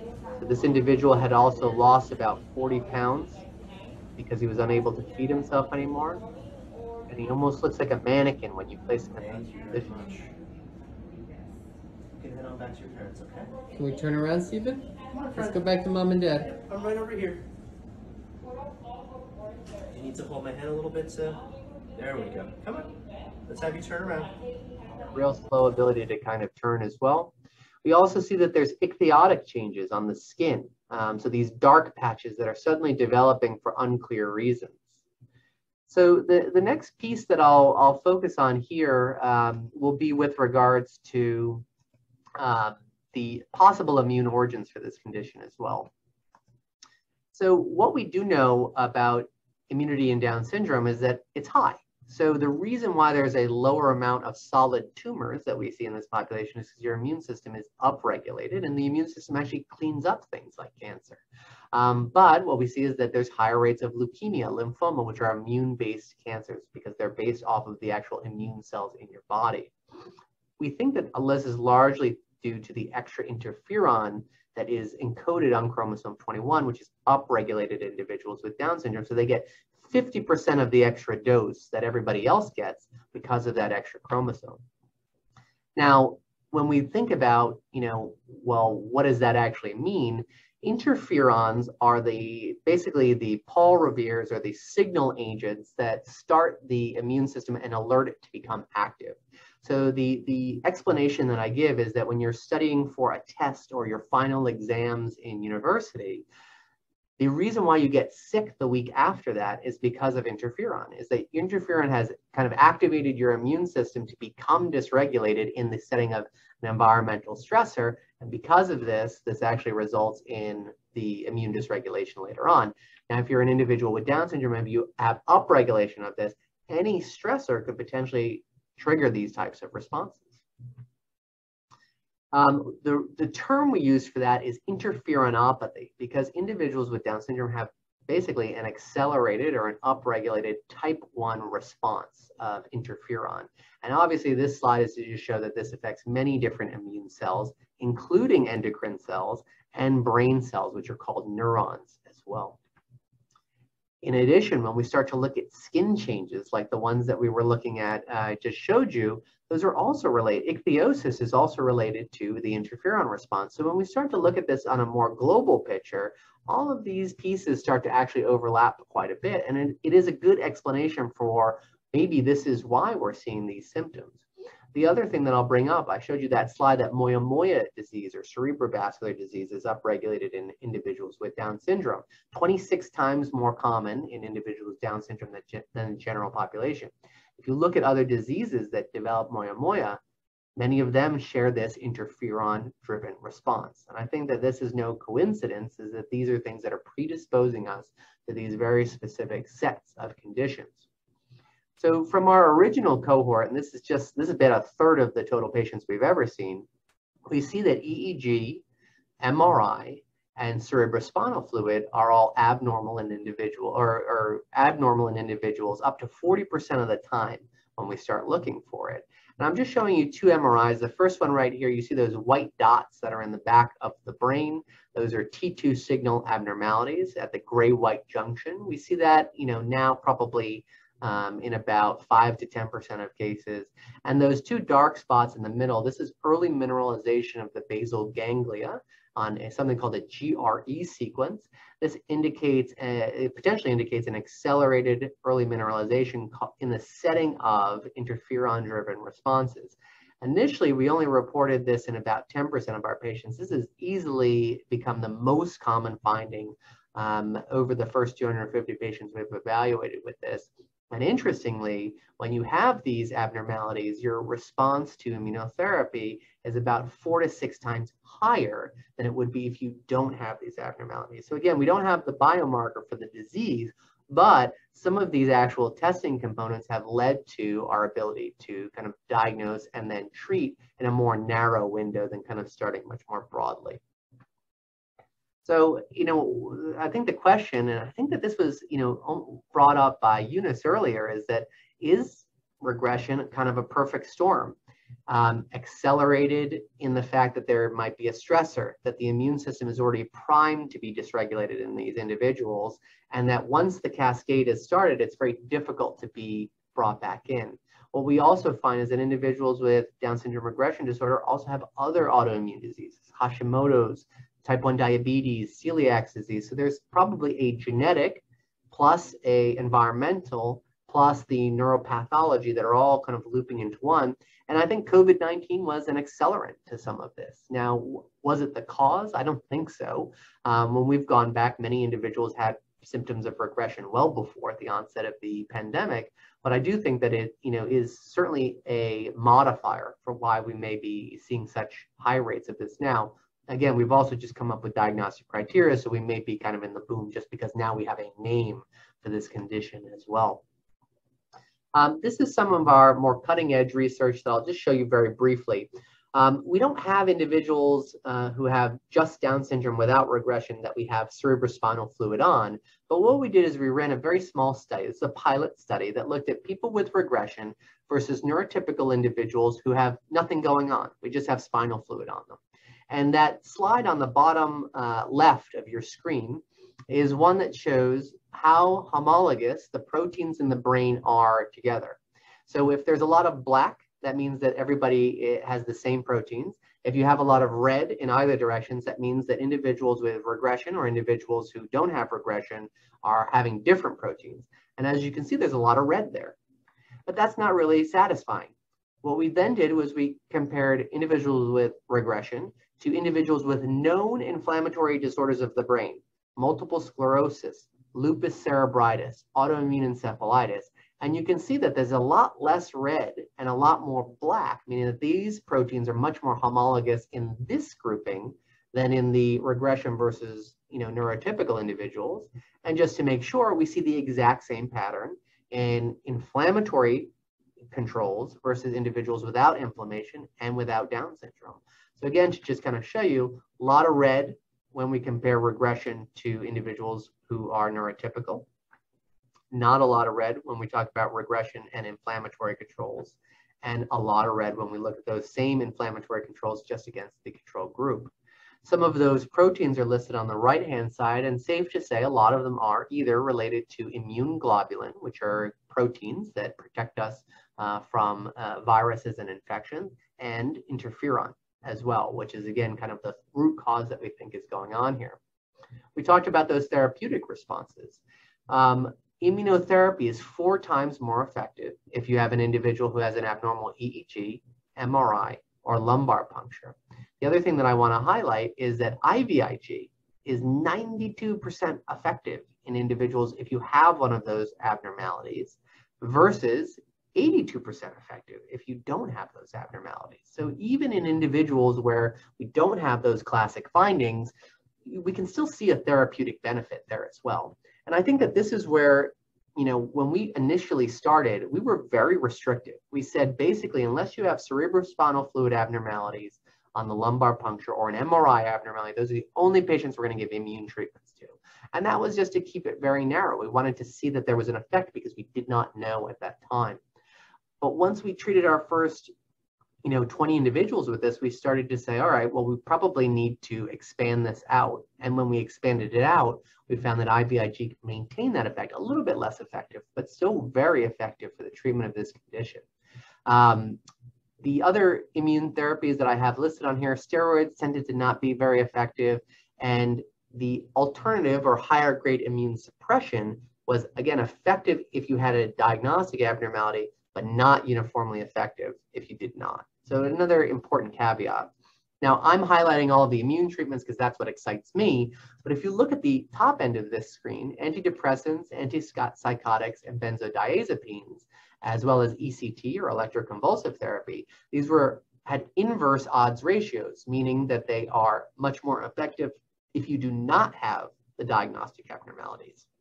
And I think that this gives us kind of a, a good guideline to say, like, if you have a neurodiagnostic study abnormality, immunotherapy may be better upfront because of the higher response rate. And if you don't have them, you can always start with antidepressants, antipsychotic, benzodiazepines, or ECT because they do seem to be effective. And if you actually look at the ECT line, the closest approximation is the EEG MRI cerebrospinal fluid normal group at 88%. That was the highest non-immunotherapy response. And it is still quite effective. I'm not a psychiatrist, I can't really comment on it, but the problem with the ECT is that it's very difficult to wean patients off of it. And that's been kind of the major knock on using it um, historically. This is a diagram of an individual who was treated with tofacitinib, and this is one of the therapies that we're going to be using in our trial. You can see that there's a baseline, a week 16, and then subsequent after the therapy is removed. And this is just basically drawing a line from start to finish uh, with a motorcycle and a car. And you can see how well it is done on the drug versus subsequently off the drug. The duration of the treatment remains an unknown. We, we have an article in publication right now, which will hopefully come out soon on our first 82 patients with this condition. Um, but basically, we tried to wean everybody off at about a year. And what we found was that it was 50 50. 50% of patients could come off of IVIG treatments and they maintained what they had gained. And the other 50% would have a relapse and they'd have the symptoms come back. And once we started them back up on it, it improved. And you can see that demonstrated here. Um, we have the 25 foot walk, which is basically how long does it take you to walk 25 feet. The Bush-Francis scale, which measures catatonia. The global, clinical global improvement scale, which is just kind of a, a subjective assessment of how things are going. So uh, lower scores are, are generally better and then the neuropsychiatric inventory, the NPI-Q, which is a really good measure because it hits many of the symptoms of regression, even though it's not specific to regression. But you see that everybody on therapy goes down pretty evenly, but then you see that there's differentiation for the responders versus non-responders afterwards. Uh, when we looked at who those non-responders were, the ones that went on to have relapse, Again, we see that common theme of having a diagnostic abnormality, EEG, MRI, lumbar puncture, and any neurodiagnostic abnormality was the most frequently encountered in this group. When uh, individuals uh, did have recurrence, the median time was pretty short. So it was only about five weeks before the symptoms started to come back. Uh, the odds ratio, meaning the likelihood of the symptoms coming back if you had a neurodiagnostic abnormality was eight times higher in our group if uh, if you had those present initially. And then once we restarted the therapy, recovery only took about six weeks. So it was not hard to get patients back to where they were before, but we felt that it was an important practice to look at because if we're able to get 50% off of patients off of a chronic IV treatment, that was a really important uh, factor for us. And we were able to do that in a good number of cases. We also had unintended benefits. I wish I could say that I was smart enough to predict these things, but we found that 34 individuals in this cohort also had improvement in their skin conditions. So eczema, psoriasis, vitiligo were all improved on IVIG. Now, we know that these are autoimmune diseases, and so it doesn't shock us that a immune treatment would potentially do that. Now, IVIG is not a treatment for these conditions, you know, as a first line, but it is a, certainly a benefit um, when we look at that. We also had four patients who had a history of rheumatism, so you know, uh, rheumatoid arthritis or juvenile idiopathic arthritis, and their joint pain improved uh, on IVIG as well. Uh, and so their pain profile was, you know, certainly benefited um, by these therapies. Not enough to keep them on them for sure, because there are more targeted treatments for these conditions, but an interesting observation nonetheless. I'll show you a picture of one of our individuals um, who had her hair regrow quite dramatically uh, on treatment as well. We see that quite, quite consistently uh, for individuals with thinning hair or hair loss uh, during this process as well. So, you know, this is kind of the algorithm that we try to use right now um, when an individual comes in with uh, regression in the door. We, we do tend to start with some psychotropics up front, benzodiazepines, certainly if there's catatonia. And then really if there's abnormal neurodiagnostics, we are shunting individuals to that IVIG arm relatively quickly. But I think that now with our data, we're starting to wonder, should everybody be getting immunotherapy you know, as a first line or in conjunction with some of these antipsychotics, uh, SSRIs or benzodiazepines as well. And this is what we don't know, and this is why we're going to be running a clinical trial. So our up, upcoming clinical trial is, is the first of its kind. We're very excited about it. Um, and it will be in Los Angeles and the uh, University of Colorado. Um, so I know this isn't great news for individuals on the call from the UK or the EU, um, but hopefully this data will be used to actually develop algorithms um, that we can use in the future with more dedicated information in a prospective manner. Um, lorazepam is a treatment for catatonia, that's a benzodiazepine. IVIG is much of the data that I've showed you today. And then tofacitinib is a JAK inhibitor. This is a medicine that is targeted towards the type of inflammation that we think is causative in many individuals with Down syndrome. So we were talking about that interferon response related to chromosome 21. Um, this is why we're using that particular medicine. The advantage to tofacitinib, it's an oral therapy that comes as a pill or a liquid formulation. So for individuals who have difficulty getting IVs, this may be the, the best alternative in these situations. We're focusing on individuals between 8 and 30 years old. And there is no placebo group, but individuals who are treatment naive will run in for 12 weeks prior on no therapy and then be randomized to a particular arm of the study.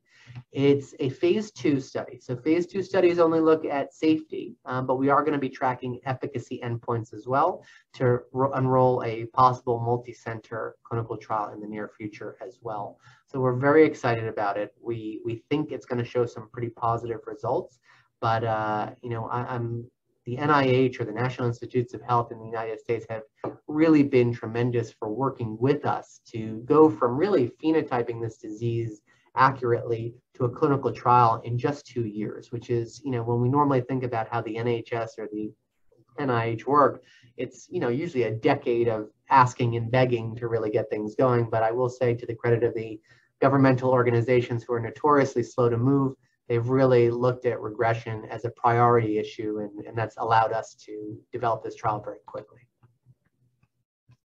Um, I'll show you a quick video um, of an individual um, whose family put together this clip for us. Um, and it shows kind of the before, um, during, and after in just a brief format.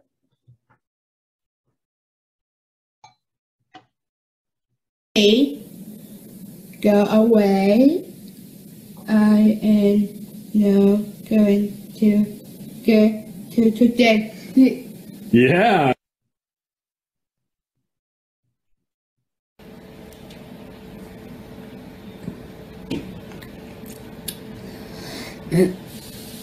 You ready for the rest of your smoothie? Huh?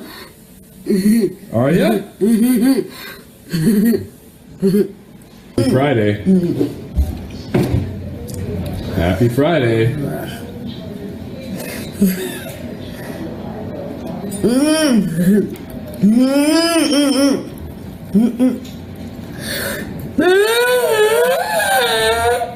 It's okay. This is bad. I mean, the way you can come and the way say it, the way calm down. Yes. I mean, so wet.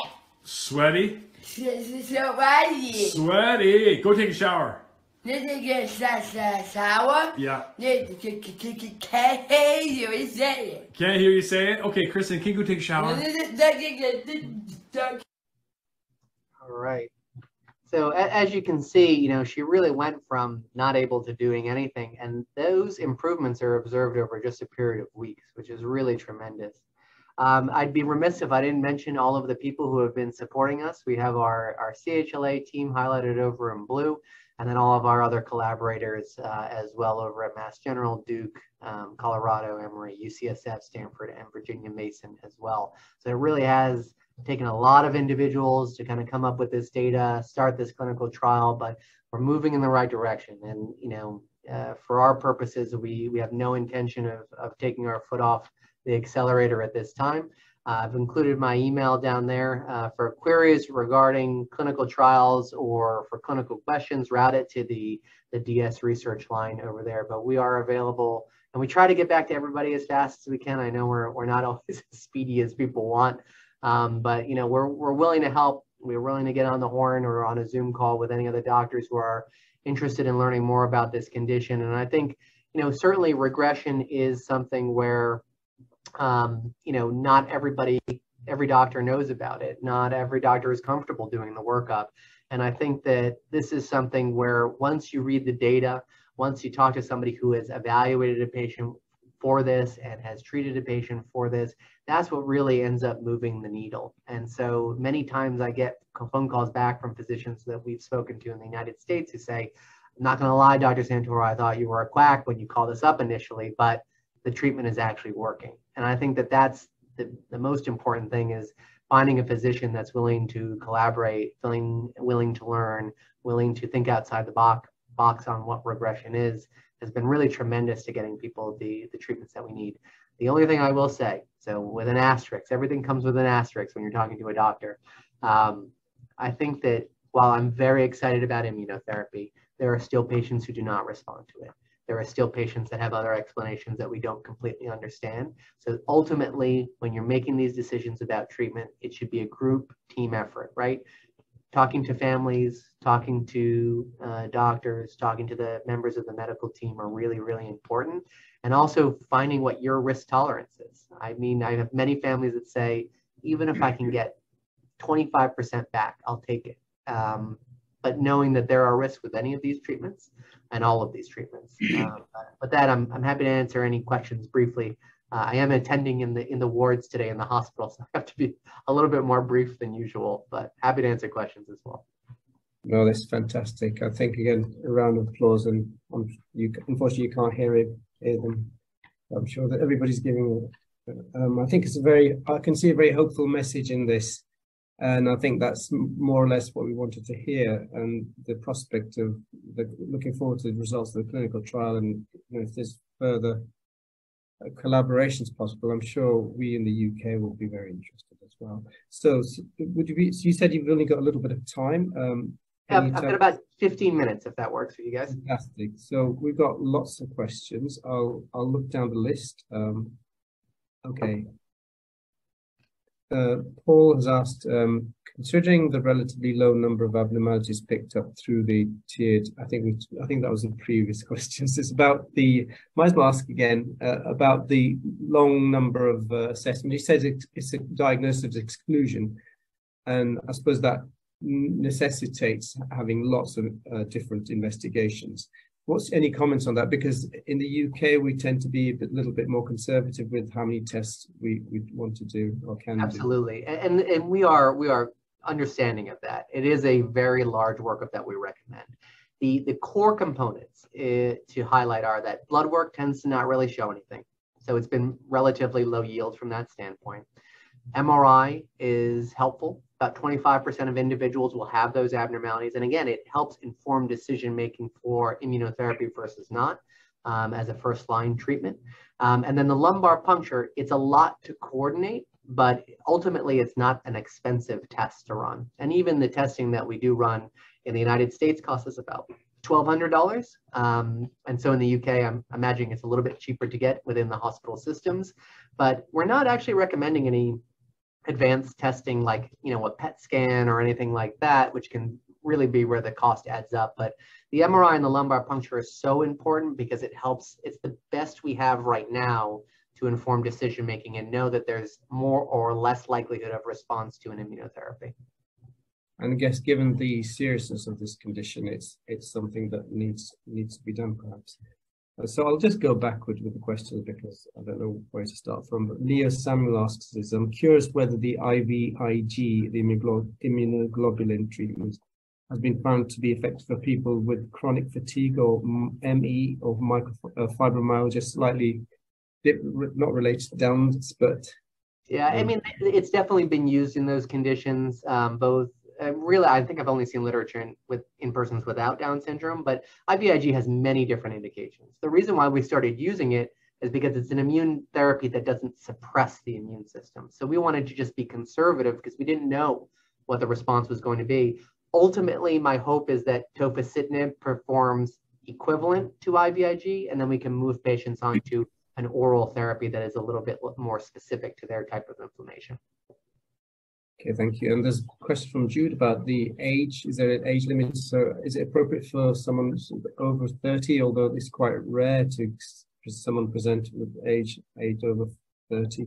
Yeah, it, it's hard to know. I mean, I think that, you know, we set up these arbitrary time points of between 10 and 30 because if you're less than 10, the chance that you're actually being diagnosed with autism is there.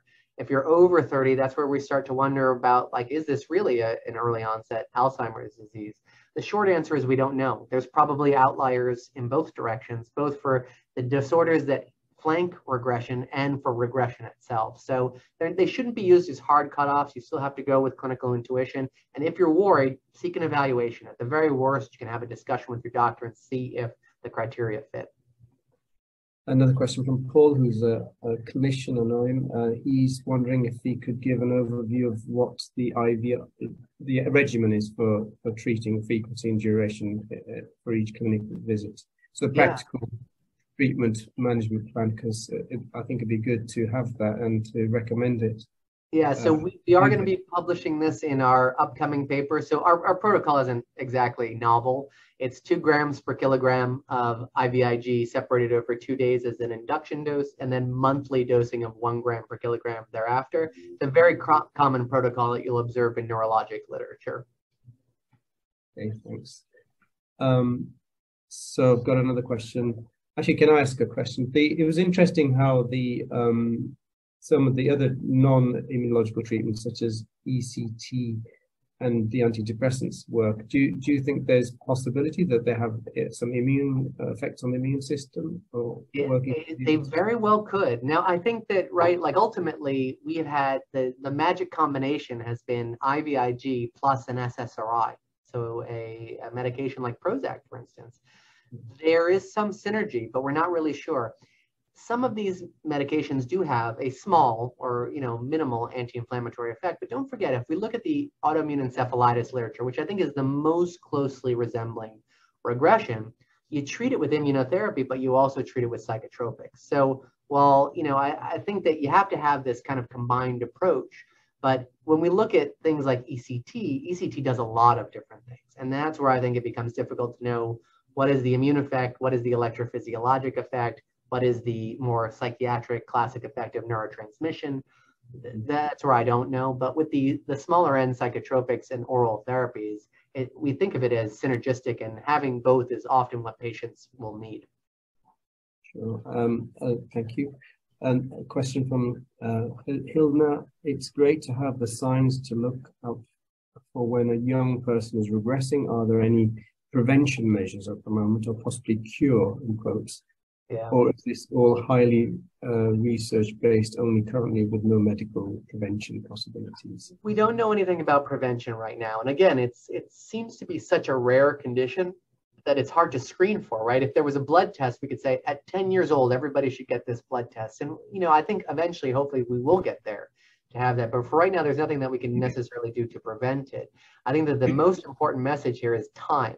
If you start to see these symptoms, get evaluated because the median number of years it has taken a patient to get to see us is about three to four, right? And at mm-hmm. that point, I think our efficacy of any treatment starts to go down. So when we've looked at our subset of individuals who are evaluated within six months of the onset of the symptoms, those are the patients that have historically done the best. Fastest to respond to therapy, most likely to get almost or completely back to baseline. So I think that's a very important message to get treatment early. Um, and the,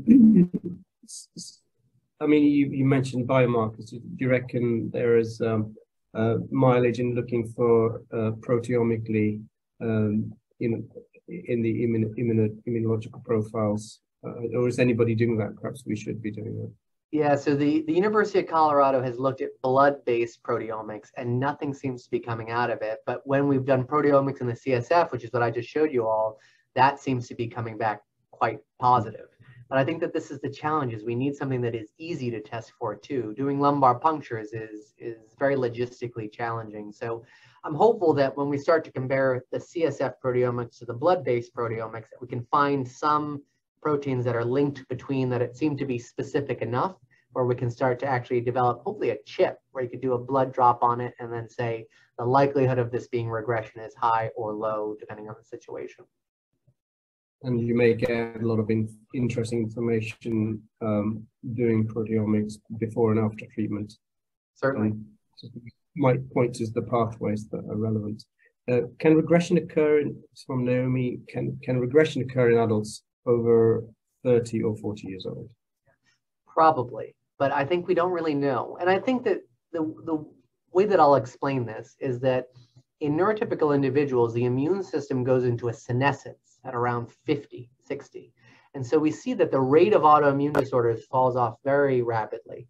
Even in individuals who have autoimmune disorders like multiple sclerosis, they tend to become less active as they age. I think a similar process is probably happening in individuals with Down syndrome, but a more accelerated time frame. So while yes, regression certainly could happen in the 30s, certainly could even happen in the 40s, it seems like when we take all comers, the incidence of individuals having that happen in those timeframes is lower. And I think it's probably related to something similar. But again, we don't really know because we're just starting to investigate these, these populations. Unless you think, of course, that um, the onset of dementia is a kind of regressive sort of uh, presentation. And, and it very well could be, but I, I think that, right, like as, as a sign, the clinician in me and the, you know, you know, father in me says, oh yeah, this is all has to be related the scientist in me knows that if we don't pick them off one by one and study each thing very specifically, the risk is that the literature comes out bunk and then it sets us back as a field for you know a decade. And so we've we've had to be frustratingly methodical in terms of how we approach things, but it's certainly possible that you know even things like Alzheimer's and even things like regression may have common roots, but we have to go very slowly to keep the literature as clean as possible so we can make heads or tails of these findings. Uh, another uh, question from uh, Ella. I don't know who to refer, refer to. I think um, I have done all the links, but CAMHS, that's the UK uh, sort of um, pediatric psychiatry, if you like. Don't know much. And adult LD learning disability services.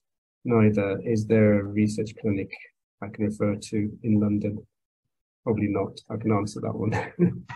uh, but we hope we can get somewhere, but that's um, we're hope, we're hopeful that we're gonna find some uh, some you know uh, neurology based collaborators um, in London specifically. This year we're doing a lot. I, I, call it the the world tour of regression. So we're presenting our data at multiple different conferences um, and international conferences in the United States and elsewhere this year. So I'm hopeful that the word will continue to get out because as see, I think as soon as you as a physician start to hear about this condition, and you start to read some of the literature, that's going to be the first, that's going to be the entry point to starting to evaluate individuals with this condition because as many of you know, when you're seeking medical care, sometimes the only thing that a physician or a referral center sees is the Down syndrome strapped on top of the application packet. And I think that that, you know, works to our loved ones' detriment here. Um, but the what I keep telling people is uh, if the individual you're evaluating didn't have Down syndrome, what would you be doing differently?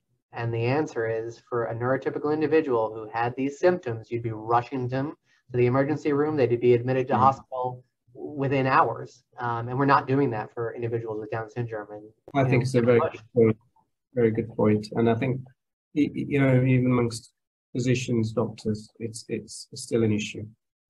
Uh, another question from Ella. Um, I'll put that in quickly. If parents don't want antidepressants as as it as it is dumbing in quotes uh, down rather than treating in quotes, what is suggested?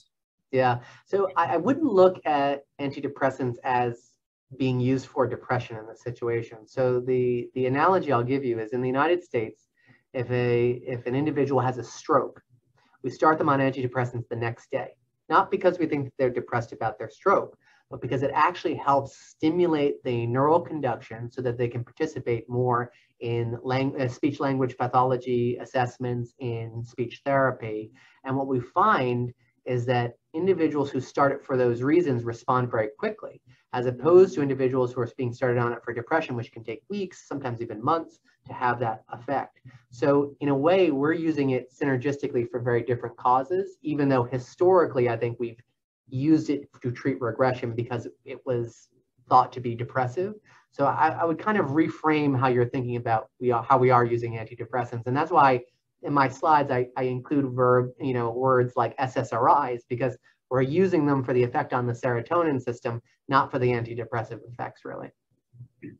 Thanks. Uh, Kate Harris says COVID was mentioned briefly and ME, any links with Epstein-Barr or glandular fever? Yeah, and Epstein-Barr is a very hot topic in my field of neuroimmunology. We've seen that it's very much associated with the development of multiple sclerosis. We have not found any viruses, um, with one exception. We have found one patient who had uh, human herpes virus number six, HHV6, in the cerebrospinal fluid. We treated them for that. It did not change. And so we started them on immunotherapy and the patient responded to that. Otherwise, we've tested for EBV, varicella virus, West Nile virus, I mean, everything, and have not found any particular infectious trigger.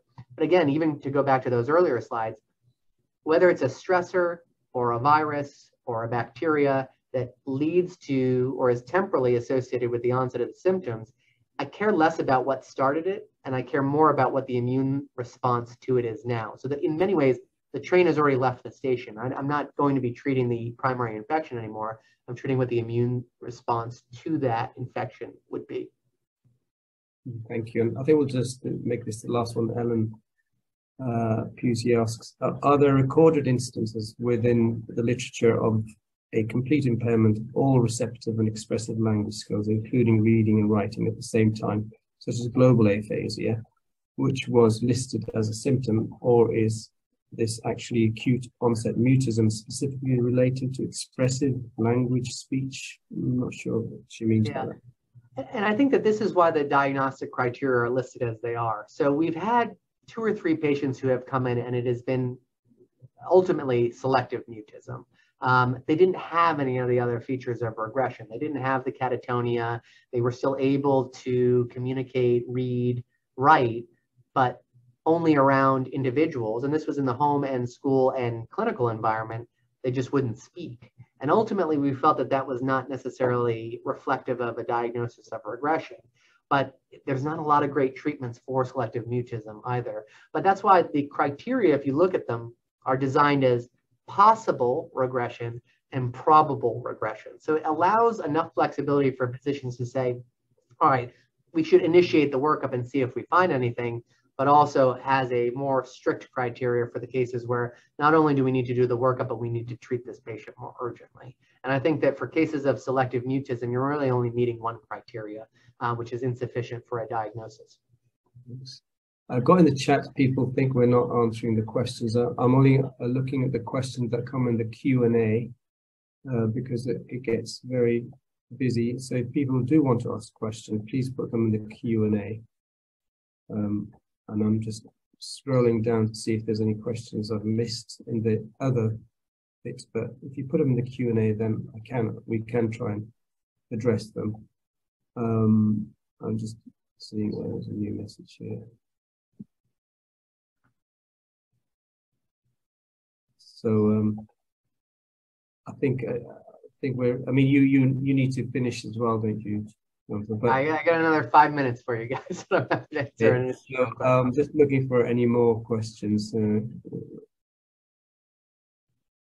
um, yes, difficult. So if there people have any more questions, please put them in the Q and A, and then we'll have to perhaps it's a good time to again thank you immensely.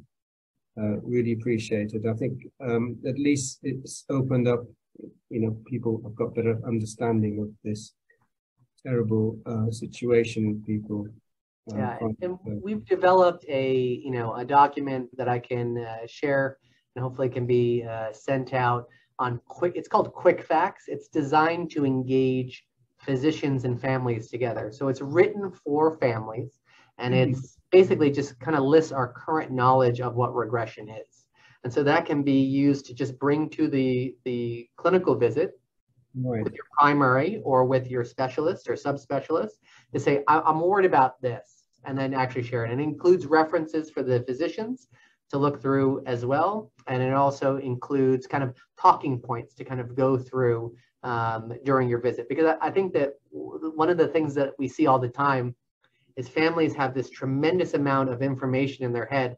And then you get to the doctor's visit, and I think we're all guilty of this, is you just forget everything all at once, and then it kind of comes out very quickly and, and disorganized. So what I do recommend is if you go in, have something like the quick facts document, have a chronology of the symptoms already typed out so you can use that as your own personal reference. And then being familiar with the criteria can help you communicate with your doctor because I will say, even as a neurologist, I was not very good at picking up catatonia until I saw it in enough patients to know what it was actually looking like. And, and you know, nobody is perfect. I don't think anyone has seen enough patients with this condition to be able to diagnose it across the room. But I think that, you know, the more information, the more prepared you can be for those visits, the easier it's going to be to communicate with your doctor and have that discussion openly about why you're concerned about this and what you think needs to be done as well within the confine, you know, confines of the system as well. okay, So um, think I've got Nita here. Can maybe can I ask you one more question because she's the one who was, I think, saying that she couldn't uh, get the question in. Of course. She's interested to know uh, the time duration of follow-up so far after starting your treatments management, as in time periods when you say there is improvement after and how long. So basically, this how long this yeah. This. So with there are some patients who are immediate responders to therapy, like uh, even I am shocked, and that takes a lot. Um, we've had some patients where they've gone from, you know, sitting in a room, drooling on themselves, unable to be able to speak or do anything meaningful really, to riding a bike within a week. Um, that is an exception to the rule. That's probably only about 10% of cases when we start the immunotherapy. Most patients, it will take about three to four months to actually see the effect um, of the IVIG treatments. There are a, another smaller group, probably 10 to 20% that are take even longer than that. Um, but I think that really our reference point is typically going to be at that three to four month mark. Say, is the treatment working or not? And we use those assessments that I was showing you earlier, like the NPIQ and the Bush-Francis and the 25 foot walk to make the assessment of is there improvement or not? Because a lot of the time this is very subjective. And the last thing you want to do is go into the doctor's office and be like, eh, I think it's helping about 50%, right? So we want to have objective measures that we can say, actually, the score has dropped 60%, and we need to continue this therapy for, for that particular reason. Um, most of our patients have now been on treatment for about 18 to 18 months to 24 months, um, and we've had about 50% of them try to come off therapy at this point to see if they retain their gains. But each case is, is very unique. And right, I think that once we get the results of the clinical trial, it's going to be profoundly informative for how we're going to be looking at immune treatments in the future as well. And you said you had that little leaflet that we could. Yeah, I, I, I, can shoot you an email with that in it to share out. Okay, that'd be fantastic, and um, we'll we'll um, we'll sort of um, we if we can't get in the chat, we can we can do we can deal with that. that. Again, I think we should finish now in the interest of time, and I know there's a few questions we couldn't answer for whatever reason. But again, I thank you so much for all from all of us for coming, and I think it's really fantastic, and let you go back to your uh, usual day job if you like. All right. Many thanks, and and again, I've um, included my email in the chat as well. And like I said, Madeline, I'll I'll uh, email you the the quick facts document to share out with the group as well. Thank you so much. That's great. Thank, Thank you. Dr. Shahid, uh, to present his uh, latest research. Yeah, I mean, I'm I'm I'm just going to basically um, just reflect more than anything else on what we heard. Um, I think it's been fantastic so far. We we've managed to uh, go through and understand the the condition a little bit better. Uh, we a lot of work, great work is being done in the US, and I'm particularly excited about the fact that something is being done in terms of treatment and management. And some of the questions every parent uh, or person who has Downs may want to know is, you know, what, what can I do about it? And I think that's this is where we need to take action here in the UK. We need to um, uh, contact the Department of Health and others to um, you know, highlight the importance of this condition, which is being under-recognized. Even though it's not very common, it's perhaps about 10% of the population uh, that may get this problem. But I think we need to, um, through education and through um, perhaps um, joining up with uh, NICE, which is the National Institute of Clinical Excellence, uh, which uh, recommends that or provides guidance for treatments. Um, I think that's the route we need to go down. Um, so that's my reflection. But I think the good thing is it does look positive. There are treatments that will work um, although they they seemed quite intense. Um, but I think it's I would if I was if I had that problem, I'm sure I would try would like to try something like that. So that's my sort of reflection on this.